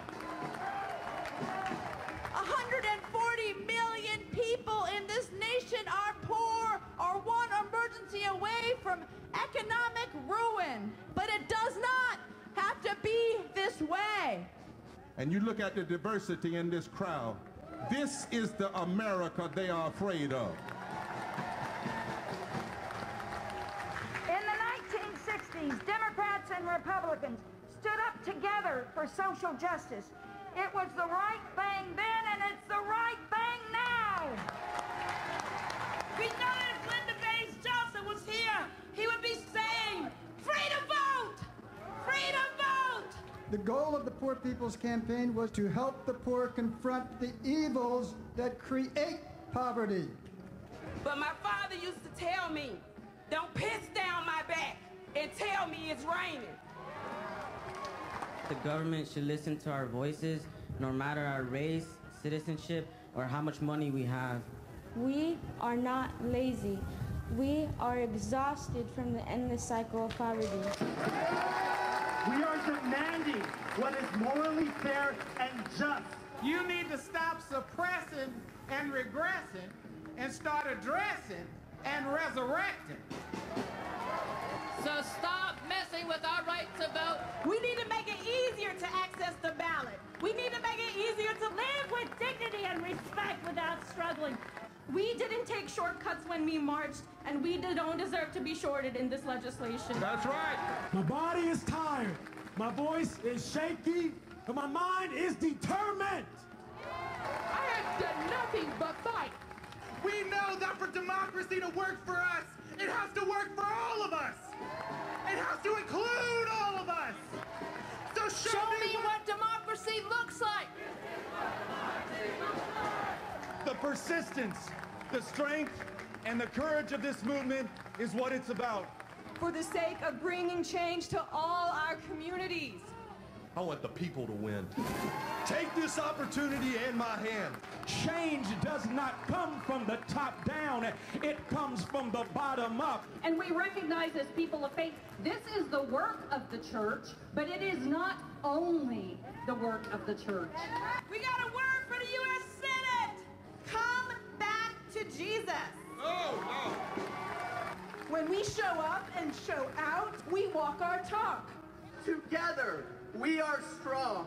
We can protect each other. Insurrections never win. Only resurrections win. And history tells us what we have to do when states work to subvert democracy. We're not going to let them stop us from coming out, and this is our country, and I'm what an American looks like. The biggest gun we got called a ballot box. We must rise up as a moral army. And creating an America where everyone counts.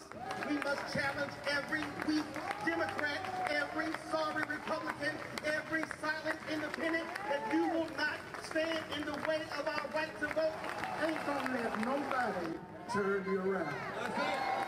It's time for the rejected to lead a revival of justice in America.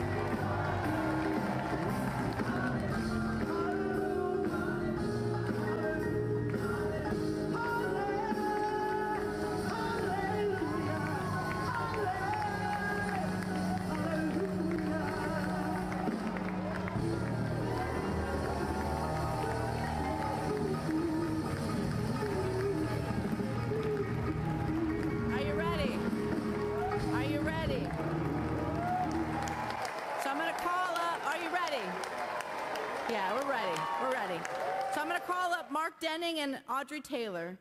Uh, they're, they're the two folks that are going to start with our testifiers. We have a way of doing things in the Poor People's Campaign, which is that it's often our, our inclination to clap, but folks are telling stories that we don't applaud.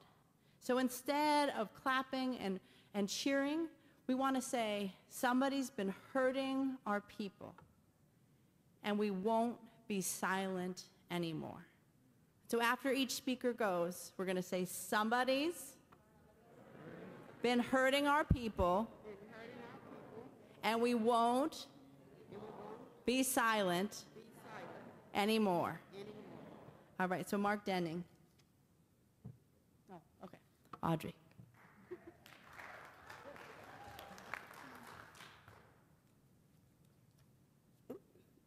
Good evening, everyone. My name is Audrey Taylor, and I'm a leader in the Fight for 15, and we are here to join the Poor People Campaign. I'm a mother of two, a grandmother of two. I have worked for Wendy's off and on since 1995 until now. During that time, I have made only $8.25 per hour. That wage didn't support me and my babies. And now that I'm a grandma, it don't do nothing for us now. It's even harder to be exact. Gas prices have went up, food prices have went up, lights, water bill, but we don't have no kind of money for leisure. We can't go to the movie. We really can't go out and shop, buy an outfit, a pair of shoes, or whatever the case may be. But guess what is going up? Hmm. Our wages. Trying to pay rent, keep the light on, pay our water bill, put food on the table, it's hard. And like I said, it leaves no room for leisure time. Being in the fight for 15 has brought me awareness about a lot of things that is, that's been going on. But in the fight for 15, it stands for something. People who are working, we are the ones who do the work and make the money. Not the people in, in excuse me, not the CEOs. They sit back, they wait for us to bring the money in. We are the people who's in the forefront, the cashiers, the crew people. What they're doing, they sitting back with their legs crossed, hitting their bank account, checking their money. But we're not. We're still trying to find a way to make more money. If it means going out trying to find a second job, hmm, maybe a third, who knows? They don't care. We're not just here for the people who work for the fast food restaurants. We are here for people who work in the nursing home, security guards, anyone that's trying to be out there to make a paycheck. Things need to change. We come together in America to look for the most vulnerable in our community. Like we said in the campaign, when we lift from the bottom, everyone rise. I, li- I believe in the Poor People Campaign. It's important to me because it's a reality, and I'm poor. I don't, I don't have thousands or millions in my bank account. I work hard every day to make ends meet. So I understand the Poor People Campaign and all about, and I will keep fighting with the Poor People Campaign until we all have what we want.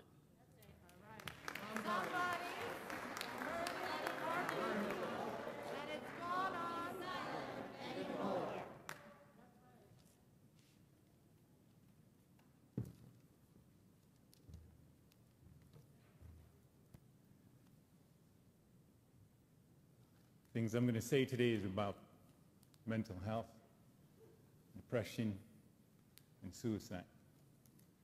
So, anybody in here who is living in that place of risk, I'm going to ask you to leave because it's going to get very truthful and, and, and very, very real.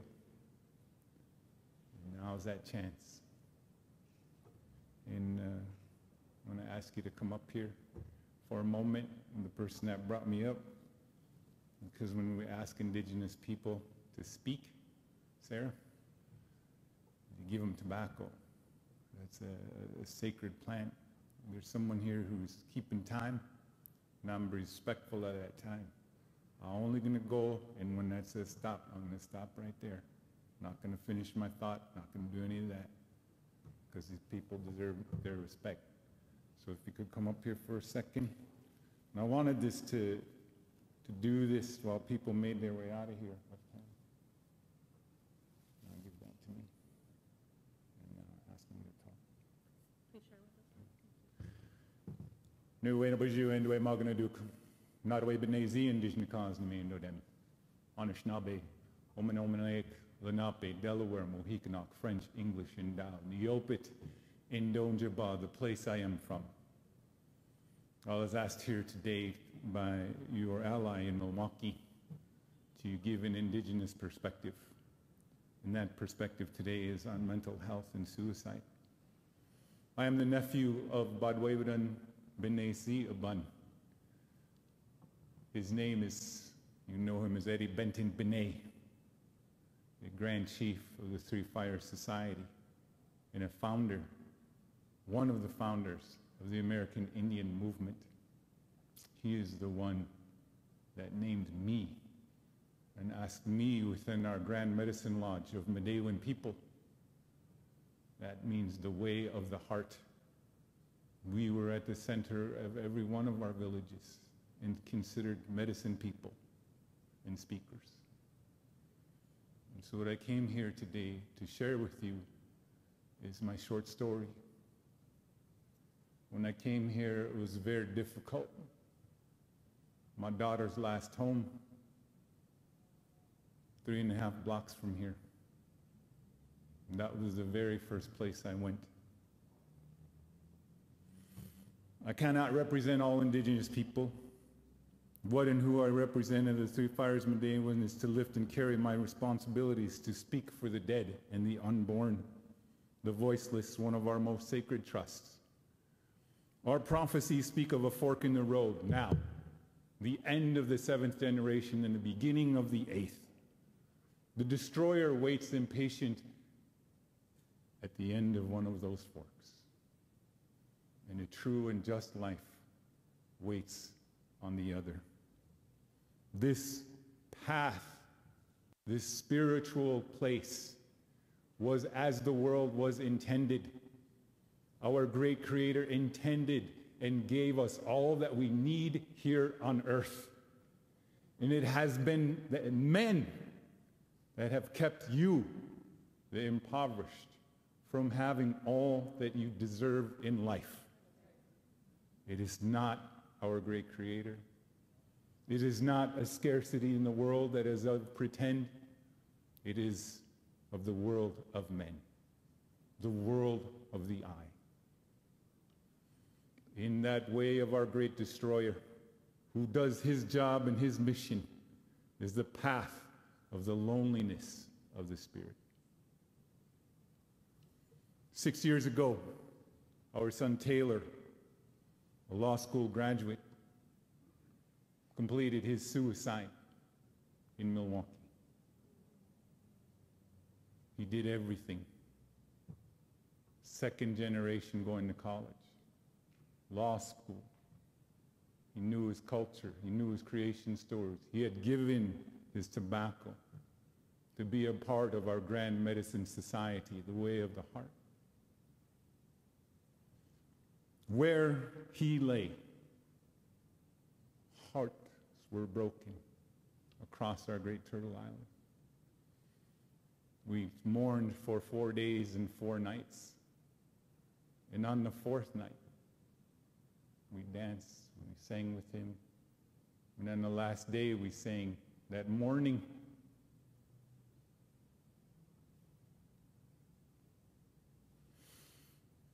Danced with them, sang. When we closed his casket, his brother stood up and said, There should have been crime scene tape around his body. There should have been crime scene tape around his body. His words were a stark reminder that this is the difference between the culture of the I and the culture of the we.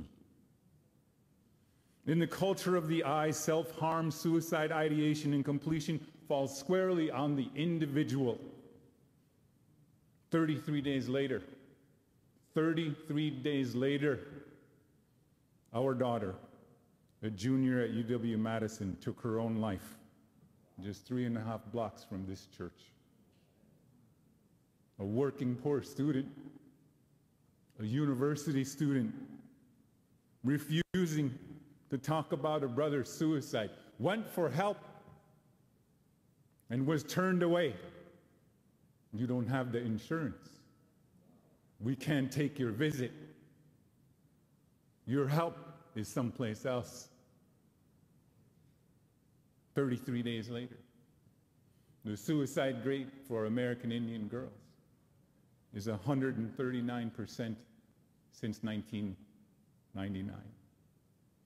The society of the eye trails of evidence are easily traced. Premeditation is tracked, can be tracked. Deliberate genocidal crimes are recorded against my people.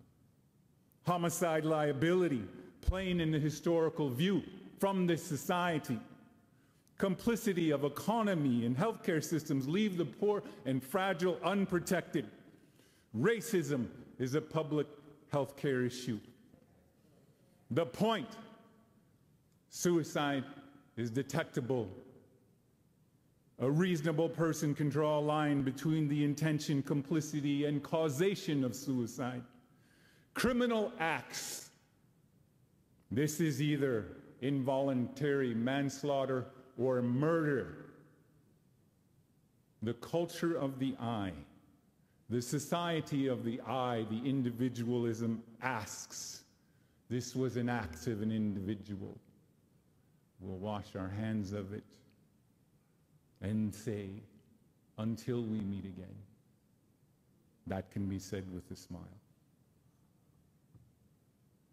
Two years later, their surviving brother, fueled by friends unknowing and young, himself, UW Madison, went to three credits short of graduation. Opioids pushed by the pill pushers of our United States government. Drugs of any sort when people took him to a party. They would see his chair against the wall like that, looking for images of his brother and sister.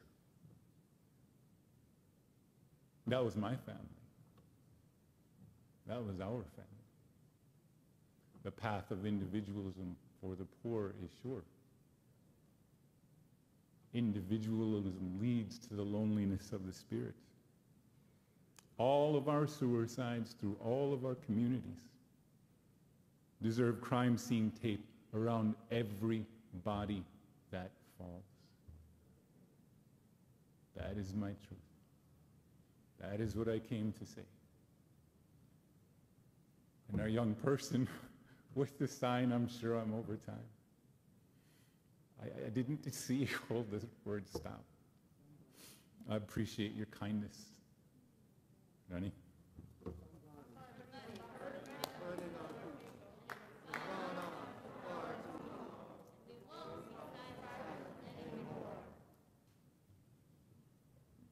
Let's take a minute.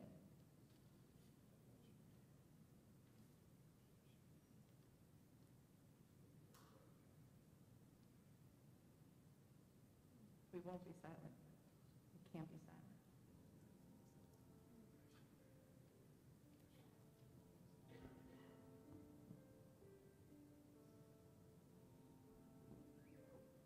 And there's more. I want to call up Reverend Greg Lewis, as well as Marianne Olson. And if you could stand together, because we stand together in this movement.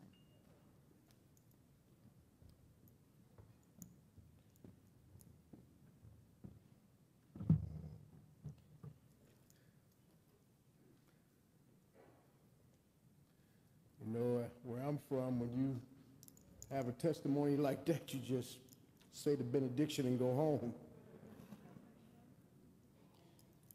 Don't like to be behind such a powerful message. But listen, we have other messages. I want to tell you about a city called Milwaukee, Wisconsin, where I'm the executive director of Souls to the Polls, and I'm a pastor at St. Gabriel's Church of God in Christ. I uh, created an organization called Pastors United, and now I created another organization to add on to all of that called Power to the Polls.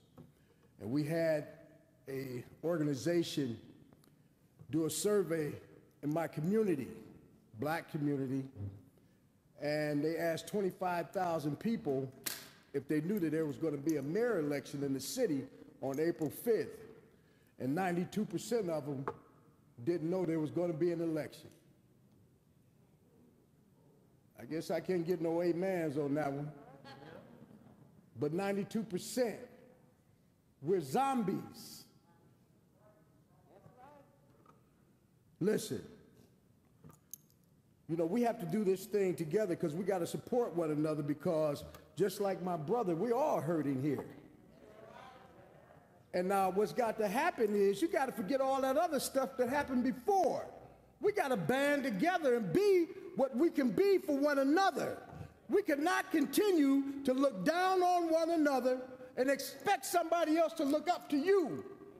We have to work together. We got to be side by side. We got to do this, and we have to do this now.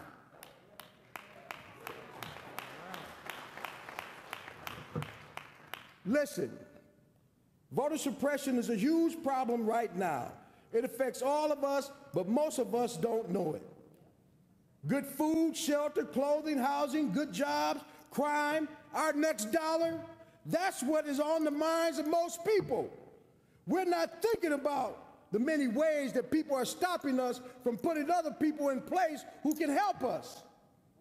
Strict voter ID laws, excessive voter purging, failure to accommodate voters with disabilities, barriers to families assisting voters who are homebound, failure to inform formerly incarcerated persons of their voting rights, partisan gerrymandering, exact match requirements for signature or other information, complicated absentee ballot requirements, Sunday voting, souls to the polls, early voting. We have to educate ourselves and help our communities understand that we are in trouble, and if we don't stand up and fight, we're done.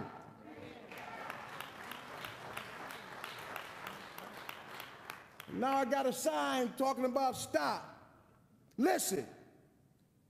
Stop letting people do things to you. Start making things happen for you. We can do this if we fight together.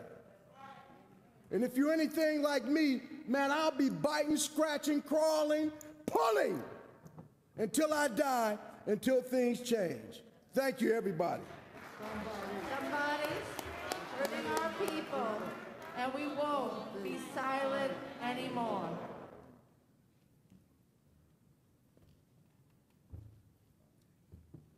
Hi.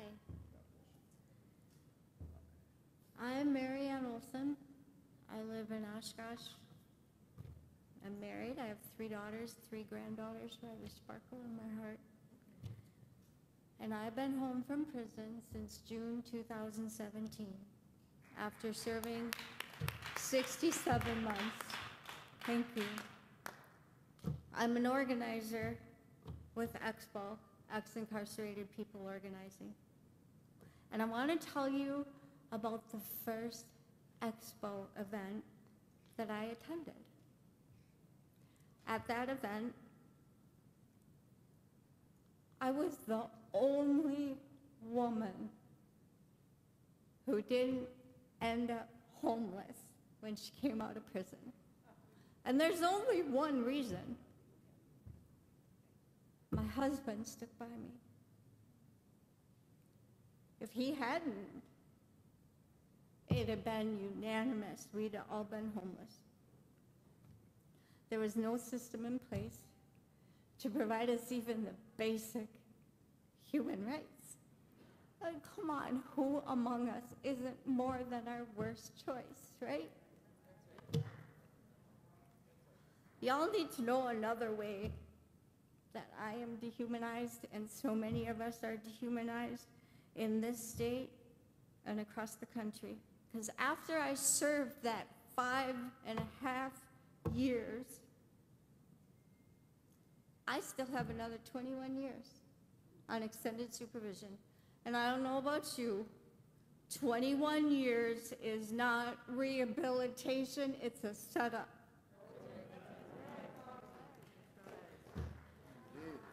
So for the entire 21 years, I'm going to work like a dog and I'm going to pay taxes, but I'm not going to be able to vote.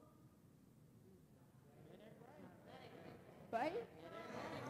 Aren't we Americans? Why did we become Americans? We became Americans because 300 years ago somebody said, you know, this taxation without representation, nope, not working for me.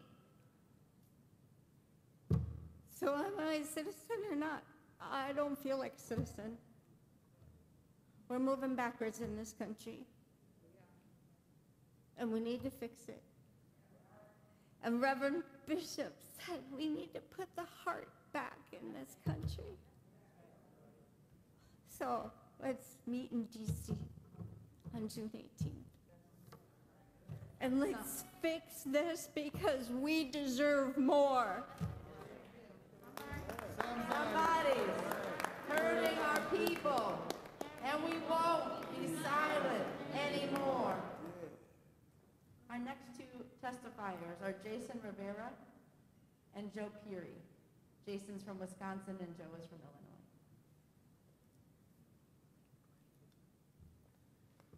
Illinois. Hello, everybody. My name is Jason. Um, I just want to talk to you about my college experience, essentially. I'm just 21. I'm a junior in UW-Madison right now. I remember the drive to Madison for my first year of college. You know, I was so excited and I was nervous and I was like, I just can't wait to like, you know, be able to like live my own college experience, you know. Every small city we pass over here, you know, every like Oconomowoc and all that, it was, it was great. I was like, I'm gonna be there, I'm gonna be a college student. I knew it'd be hard, but I also knew it'd be worth it one day. I'd have a degree, I'd have a livable wage, have a family, whatever I can do with that. Today, I can say that no one could have prepared me for how difficult it would have been, or for how difficult it currently is still. No, not the classes or that long walk up Bascom Hill over there, but just trying to survive. I was lucky to have my tuition fully paid for here by a People program, which helps out students in like Milwaukee and all over Wisconsin. But even with that, I still face food insecurity and housing insecurity, and even had to drop out of school for a semester because I couldn't make ends meet. The leading response to students like me is go get a job. And, you know, I have two right now. I work 30 hours a week as a student full time, and I have three during breaks. It's not that I and other students don't want to work, it's that we just don't have 40 hours a day. We don't have 90 hours a week to just go ahead and just work the entire time. it's unfair and immoral to ask kids who just graduated high school to drop their education and work to survive. I wasn't even allowed to vote three years ago. It's, a, uh, it's immoral to ask us to sacrifice our youth to save up money to eat the next day. To those who criticize and say, I've done it and I'm alive, would you do it again? You wouldn't. My sophomore year, I lost my state benefits because of a seasonal job I had. And by this point, I was a full time student still and working, again, 30 hours a week, as I do.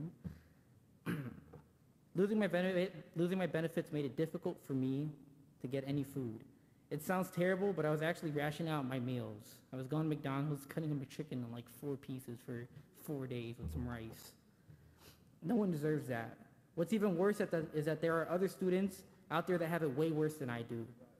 You need a degree now to earn a livable wage, yet we make it nearly impossible for those who already have, to, uh, who don't have much to succeed. They want us to succeed, and they don't give us the resources to do that. I don't want to go over too over time here, but I just like to say I'm tired. We're all tired. What's it called? My parents are tired. my siblings are tired. What's it called? As a child of an immigrant, trust me, my parents are so tired. We're so tired, and that's why I'm here organizing with everybody else here, and that's why I continue to fight, and that's why I've had to fight all my life. we deserve whatever, whatever we, you know, whatever we're fighting for here. We deserve to have livable wages. We deserve to not be homeless. We deserve to not have to think about what we're going to eat the next day. So, thank you. That's my story. Somebody's hurting our people, and we We won't won't be silent anymore. Yeah, I'm Joe Peary from the National Union of the Homeless and the Illinois Union of the Homeless. I'm formerly homeless. I now live in public housing in Chicago's Cabrini Green. Two blocks f- from me are 440 units of vacant housing. We were promised that people would move out temporarily, the apartments would be renovated, and then people would move back in. Promise broke. Those units have been empty for over 10 years while homeless people die on Chicago's streets. Wayne Warren survived the battlefields of Vietnam.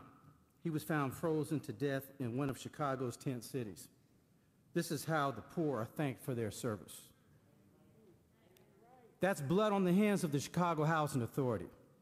When we complained, HUD told us they're saving public housing by making it private. What's been the result of that? An explosion in homelessness everywhere. Our lease contains dozens of legalistic ways to deny us basic human rights and to evict us. One part states that we can be evicted for criminal activity without an arrest, without a conviction or proof, making us guilty until proven innocent. A young man who lived in one of those 440 vacant units, who was 16 years old at the time, was arrested because he had a joint in his pocket.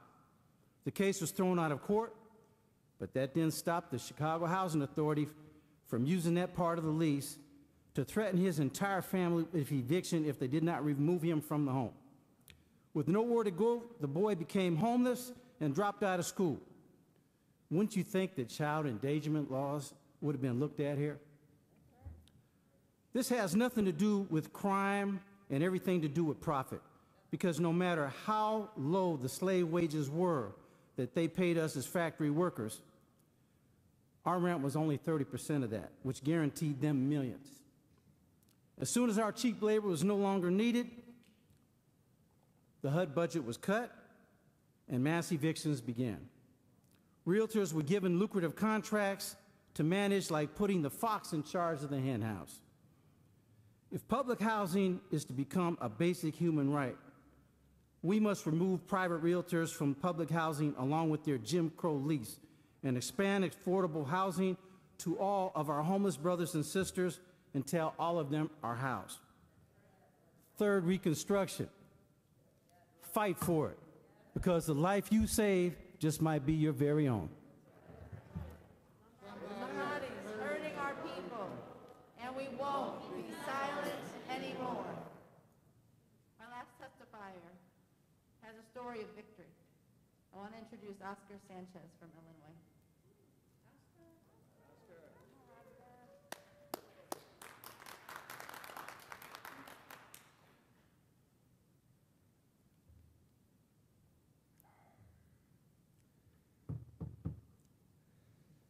Um, just to be very honest, I'm um, very emotional being here with everyone, sharing their testimonies, very powerful testimonies.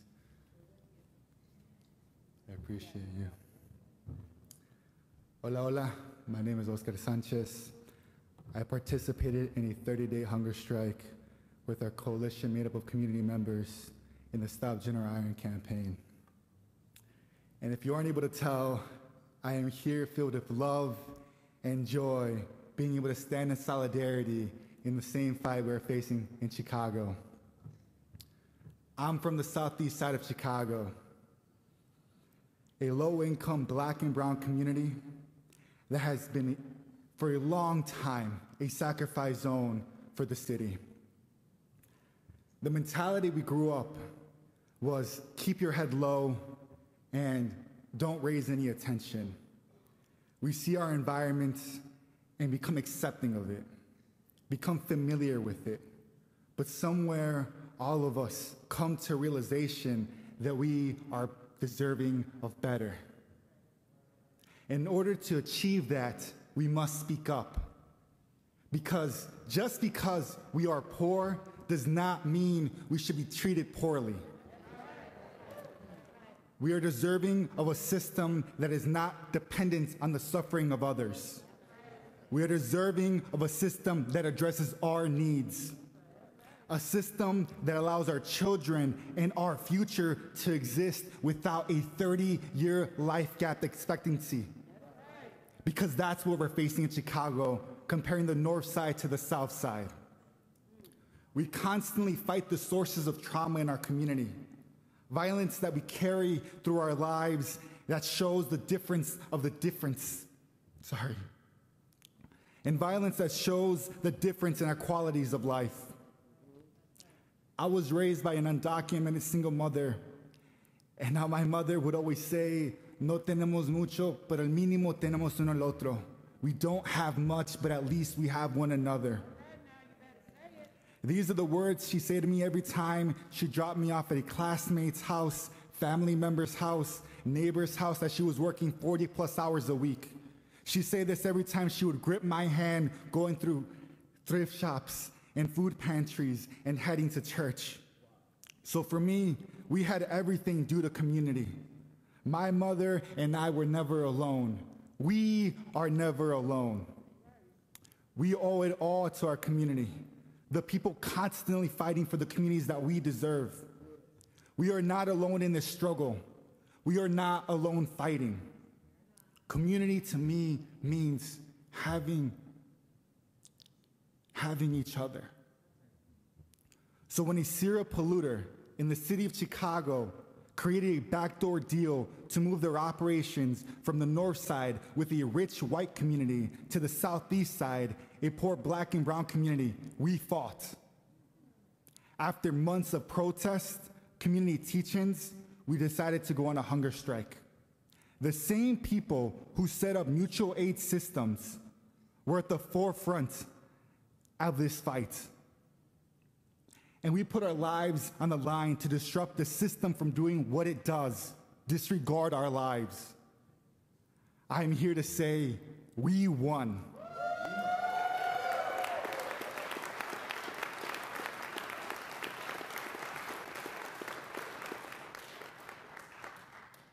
So, I mean, if you know the chant, say it with me. Because when the people fight, the people win. And we will continue to fight racism with solidarity. We will continue to fight poverty with solidarity. We will continue to fight. There is no justice without restoration. There is no justice without reparations. We demand justice against the violence that all of our communities face every day. We are fighting for the communities we deserve, and we are fighting for restorative justice. Marching to the heartbeats of those before us. We are the children of those who challenge the system that is not meant for us. My brothers and sisters, my siblings, I want you to remember this. The promised land is coming, and it will come from our bravery and anger rooted in love and rooted in community. So remember, we have each other. Thank you.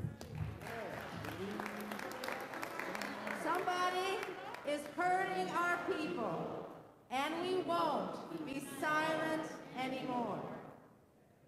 We're going to have some faith leaders join us to share a litany.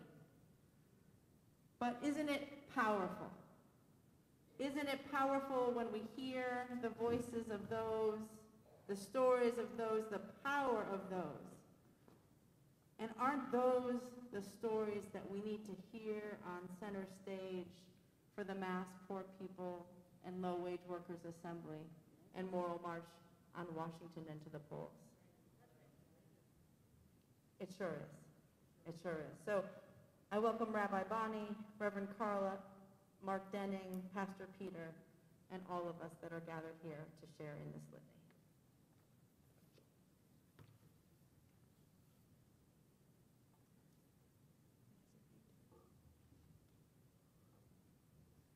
Throughout our sacred scripture and the world's religious traditions, there is a call to stop depriving the rights of the poor, a prohibition against profiting from pandemic and crisis. There are commandments to pay living wages promptly, to deliver equal protection under the law, to welcome the immigrant neighbor, to provide for the needs of the entire community as we care for the land, air, and water.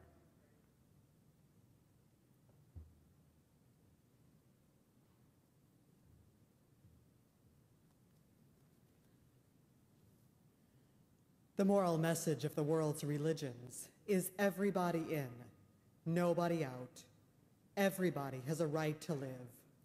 When we lift from the bottom, everybody rises.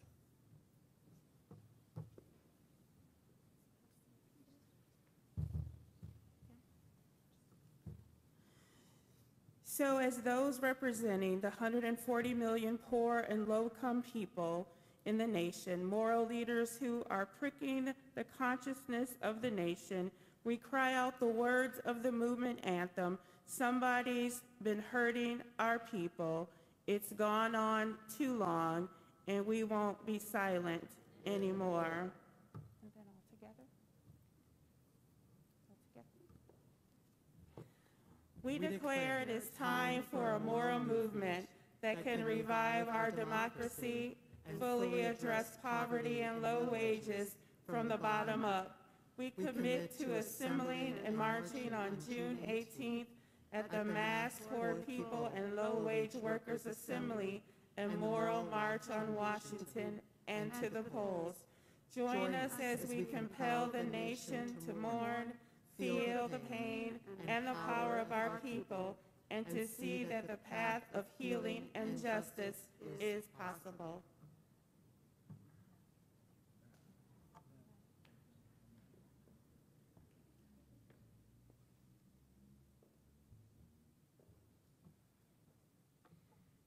It's a lot. When 250,000 people die in the richest country in human history, and this was before the million who have died because of the COVID-19 pandemic. We can't be silent anymore. When nearly half of the country and more than half of our kids live in poverty.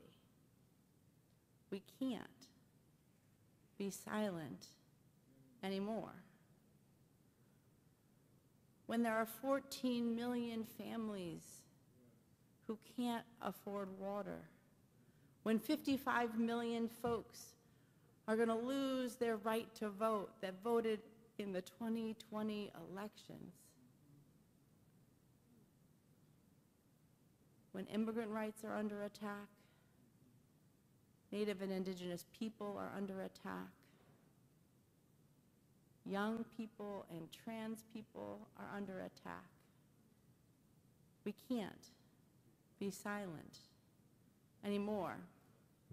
And so we're gathered here this evening to call for a radical redistribution of political and economic power, to call for a revolution of moral values and to build the power to enact all our demands.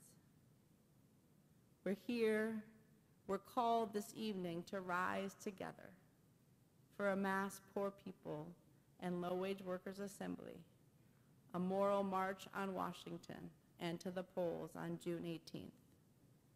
Because if there ever was a time to fight, it is now. Now is the time for poor people and all people to come forward with bold and visionary demands and to sing out and cry out and march on that there's something wrong in this nation. But those who have been rejected are indeed leading a revival. I know we're from different faith traditions in this congregation this evening and people that don't come from a particular faith tradition, but as a Christian preacher, I want to share a favorite Bible verse of mine that comes from 1 Corinthians. I think it speaks to who has the power to build power and to enact change in our world, a power that we have for sure heard this evening in the testimonies that folks have shared, a power that we will hear from that stage on Pennsylvania Avenue on June 18th.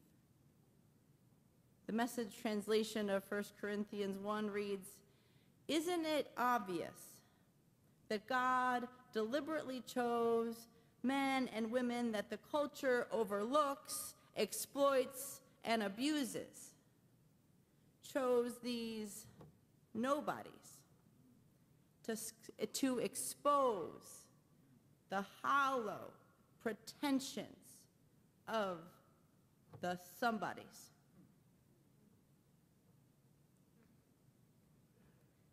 Now, this isn't the way that society is supposed to work politicians, business leaders, lawyers, they're the ones that are supposed to save our world.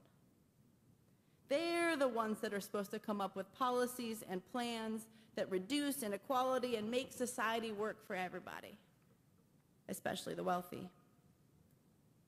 It's not the poor, the dispossessed, the beaten, the low wage, the homeless,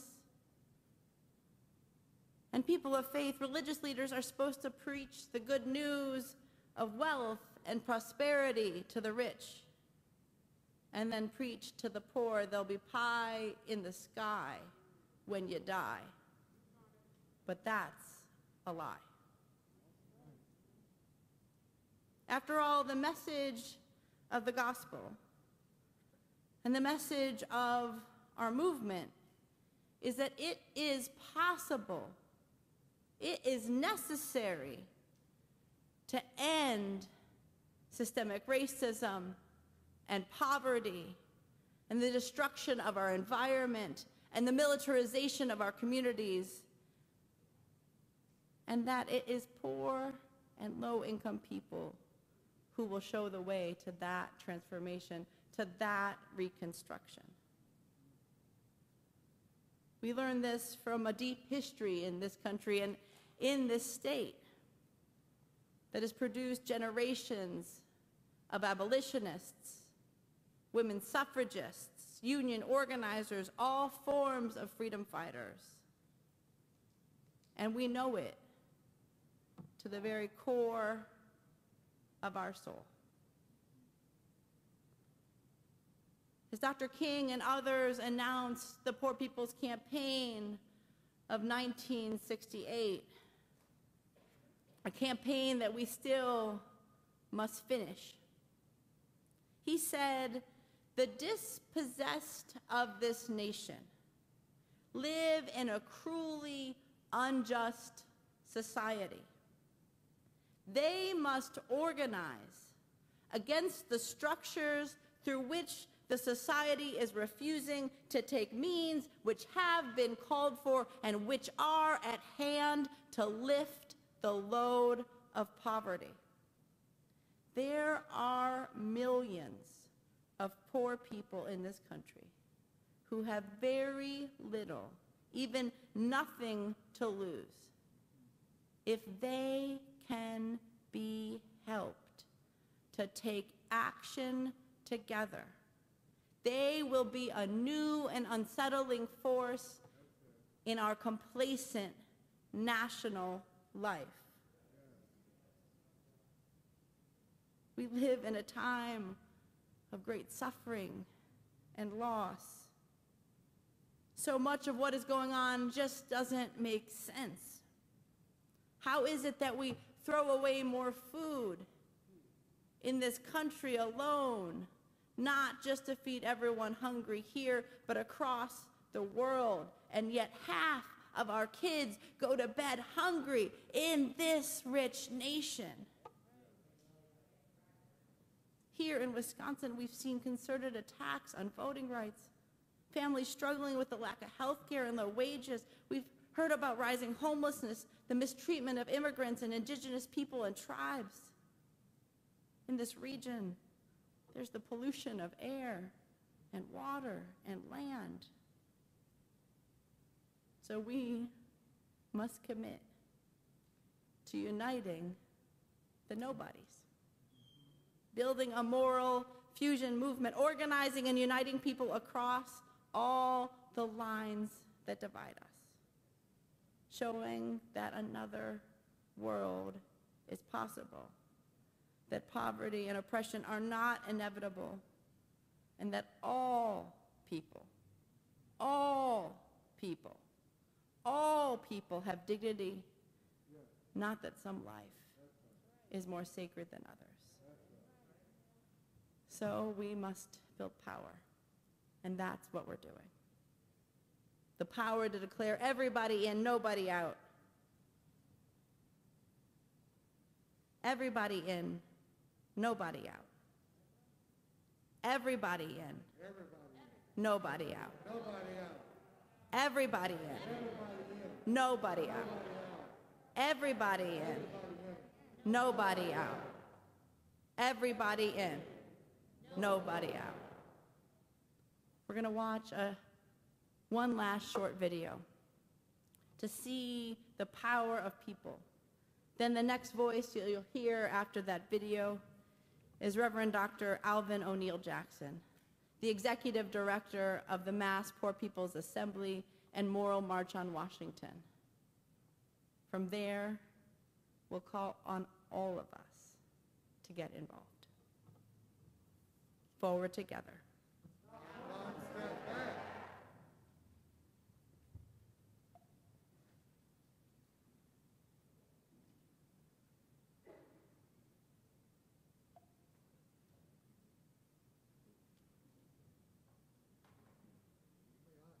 something while we're getting ready for the video. If uh, the organizers, the ushers would, if, if you don't have a pledge card, if, as we're getting ready for the video, if you just raise your hand, slip your hand up, and we'll get you a pledge card. This is the part that everybody gets a chance to participate in. So if, if you don't have a pledge card, many of you got them as you were coming in.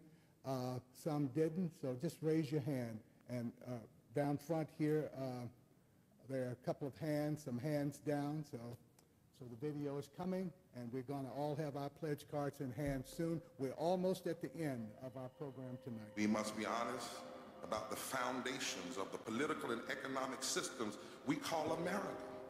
I love America because of her potential, but I know that America will never even get close to being a more perfect nation until we are honest about the politics of rejection.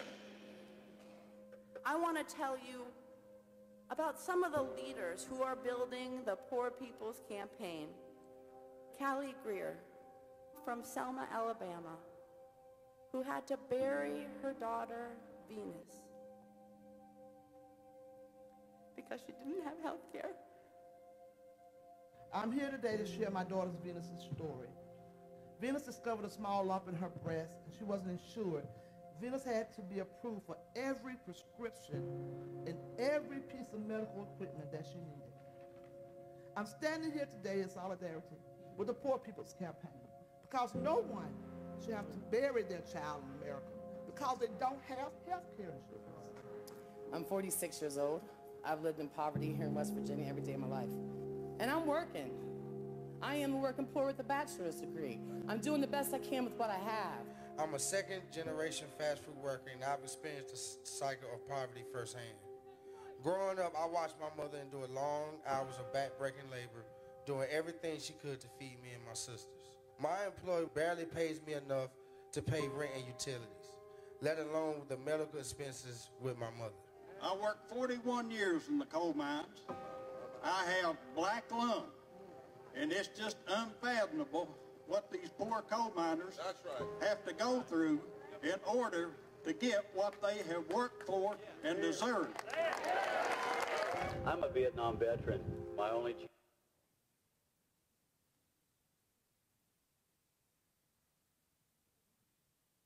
chance of going to college was joining the Army. It was one thing to know that you didn't have water and you couldn't afford your water. It's a whole nother to find out that they've shut off your entire community and none of you matter.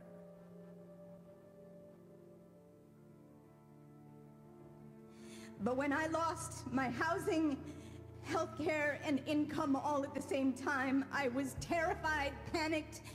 Now, I'm also a Kansas farmer's wife. Kansas farmers are committing suicide at a far greater rate than the national average. Why? Because they're stressed out. They're stressed out. They're usually in debt up to their eyeballs because they can't pay for all the equipment that it takes to run a farm. And they're usually, they're in the most dangerous line of work there is, yet they, many can't afford to buy health insurance. We have no hospital. We are in a food desert. We have one grocery store for the whole county. Our neighbor, my husband's uncle, still drinks pond water self-treated with chlorine. He had to have a kidney removed at age 64. And the year before that, his wife died of some unknown cancer. Hi, my name is Pamela Roach. I'm from Lowndes County, Alabama. And I live in a mobile home with my two kids.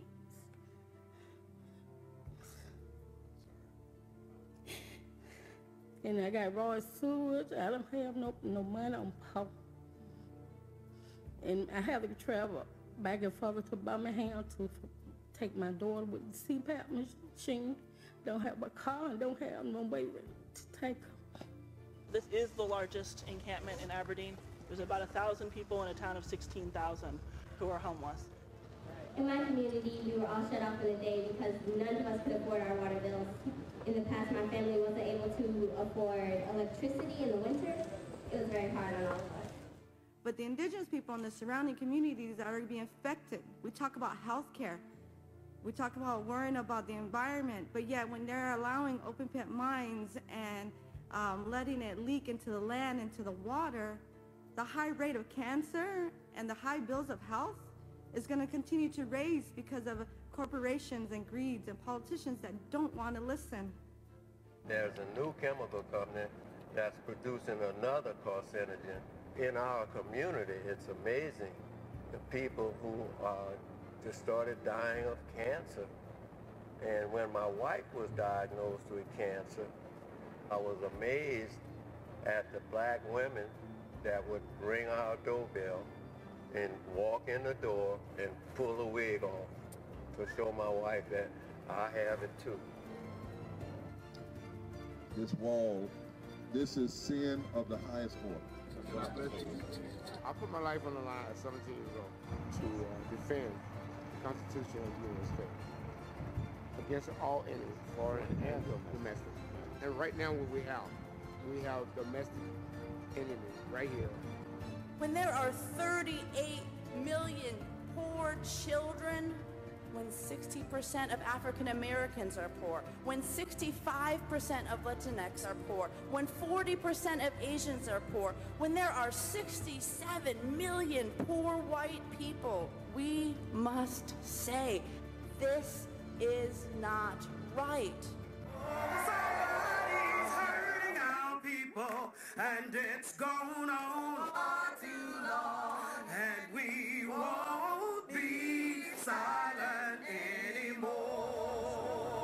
brothers and sisters are sleeping on the streets.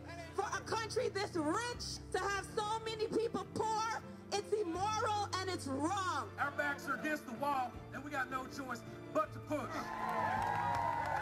We lift our voices for justice. We put our bodies on the line for mercy. And together we will proclaim liberty throughout the land for the enslaved, for the poor, and for us all. All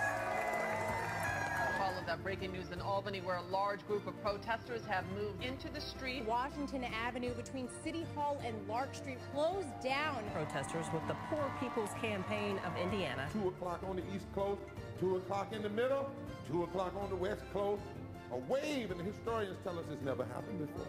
Our communities, Muslim communities, who have joined the Poor People's Campaign, you can count on us. Our democracy is in trouble. Our democracy is in trouble. And we come to demand. And we come to demand. Second warning. I cannot stand here and claim to be a follower of Jesus Christ and be silent about the moral outrage that is going on in our country. Because it's crucial that we make ourselves heard. No one is listening. We write letters, we make calls. No one is listening. So we gotta make us find a way to make ourselves heard. We are the Poor People's Campaign, a national call for moral revival. And we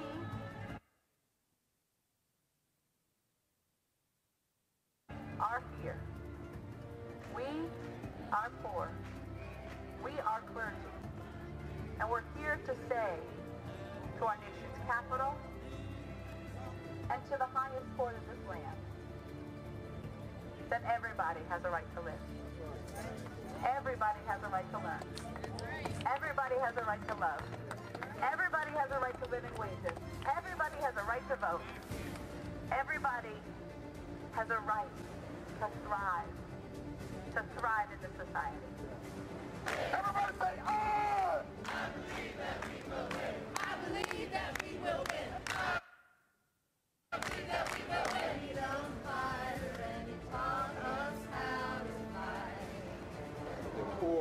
Clergy. We read Article 6 of the Kentucky State Constitution that says we have a right to free assembly. We are demanding that we stop the war on our poor.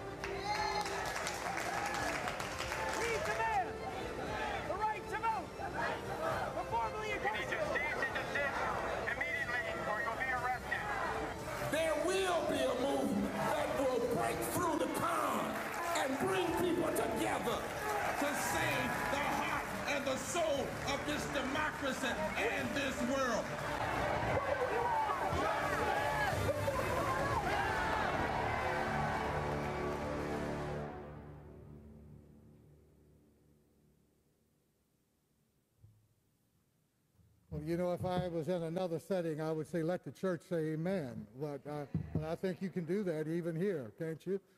Well, this has been a good day. This has been a good day in Wisconsin. This has been a good day in Madison. And uh, so, sisters and brothers, family, friends, all, we say thank you to our co chairs of the Poor People's Campaign, the Reverend Dr. Liz Theoharis and the Reverend Dr. William J. Barber II in North Carolina tonight, our tri chairs, uh, Wisconsin, and the other states that have come and joined us. We say thank you to our host pastor, Reverend Fowler, who has opened the doors of this beautiful place. All of you tonight and all of you gathered online all across the country. I am Alvin O'Neill Jackson, native of the Mississippi Delta. Is my friend Jane still here? Jane must have left. I, I found a wonderful friend uh, from uh, who knows all about Indianola and Sunflower County, Mississippi. But I'm a retired pastor in the Christian Church, Disciples of Christ. Well, I was retired, but I've been rehired. And I'm fired up and I'm ready to go. I'm uh, old and sometimes slow. I've lost all of my hair. You could call me G.I. Joe too, but don't slap me. Somebody will get that. I have suited up. I have suited up, rolled up my sleeves, retired, rehired, and fired up. and ready to go. And I've come tonight to ask you a question. As we end our evening tonight, I have a question. Are you ready for the meeting? Are you ready for the meeting? We are getting ready for a meeting. We've got to have a meeting. We need a meeting. And so, are you ready for the meeting? The Poor People's Campaign, a national call for moral revival, is calling the nation together for a meeting. Where? Washington, D.C. When? When?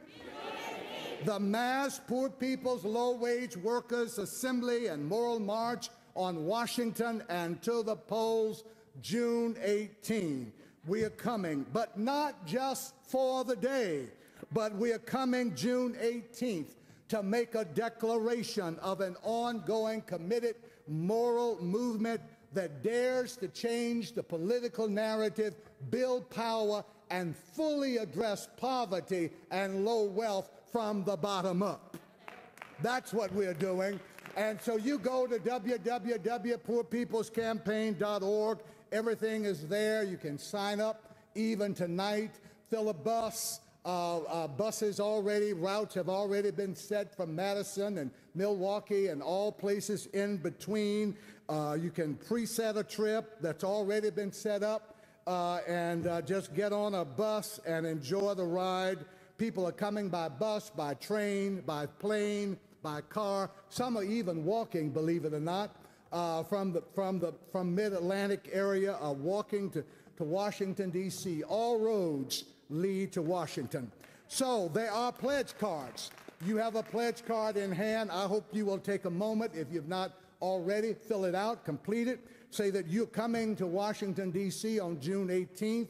And then I trust that not only will you sign up and make a commitment to come, but that you will make a commitment to bring somebody else, to encourage somebody else to come. Reverend Liz talked to us today about uh, the woman from the, uh, the march in 1963 who organized some, some 40,000 people. One person organized some 40,000 people for the March on Washington in 1963 you know, and uh, that, that was before email and, you know, all of this stuff we got. So we ought to be able to order, you know, a few folks, uh, you know, maybe 10, maybe 15, maybe 20. We, we, we, we can do a few folks, can't we? So you sign up and then organize a few folks to come and join us as well. Some of us are even in position maybe to give a little money uh, to make it possible for others to come. We want everybody who wants to be in Washington, D.C. on June the 18th to be able to be there. And so there will be an opportunity tonight as you put your pledge card in, I'm going to ask us to get ready. Maybe our tri chairs, uh, tri chairs, would you come if you are available and maybe take these, uh, these offering trays here and uh, just kind of be ready with them in a few moments. Reverend Ari, that's great. And I'm going to ask you in just a few moments, I'm going to say another word or two, and then in just a few moments, I'm going to ask us all to just kind of, uh, and then the choir is going to come in a moment, and we're going to sing, and we're going to come and place our uh, pledge cards in the offering trays, and uh, we're going to maybe just kind of surround the sanctuary here, and we're going to sing a little bit, and we're just going to kind of go out on that. But as we as we close tonight, I want to remind you why we're coming to a meeting in Washington D.C. We're coming because there were 140 million poor and low wealth people before the pandemic, and things have only gotten worse since the pandemic. We're coming uh, because 57 years after the Voting Rights Act of 1965, voting rights are under attack in nearly every state. We're coming because the climate crisis is devastating our communities uh, and our planet while fossil fuel companies are getting tax breaks and poor people are getting sicker every day. We're coming because there's nothing just about a nation that has spent $21 trillion on war, policing, and prisons over the past 20 years, and none of it has made us safer. Uh, even as the guns and missiles fire in the Ukraine and Europe, none of us are any safer. We're coming for a meeting because our politics are trapped by the lies of scarcity. Scarcity is a lie. There is abundance. The only scarcity there is is the moral will to do what's right. We are coming because we know what it has always taken to bring the nation to higher ground. People coming together. And so we're coming together by the thousands by the tens of thousands we will gather in Washington, D.C. when?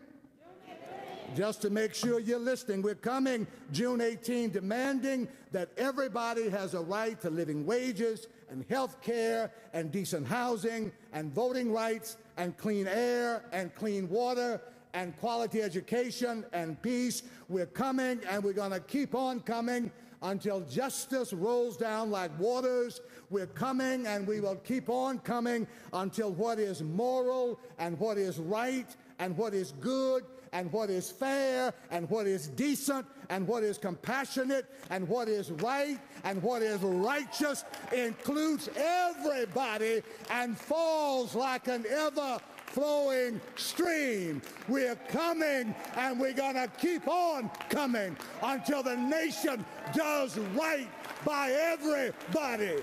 We're coming. When are we coming?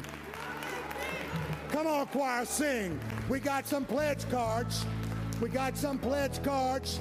And I'm coming. I'm coming. Fill out your card. I'm coming. And I'm to bring somebody. If you got an offering even tonight, to place in the tray. Just come stand down front, uh, tri chairs, and let everybody come front, and then just make your way back around the sides. And we're gonna just surround the sanctuary tonight, and we're gonna we're gonna sing with the choir as they lead us and break every chain, break every chain.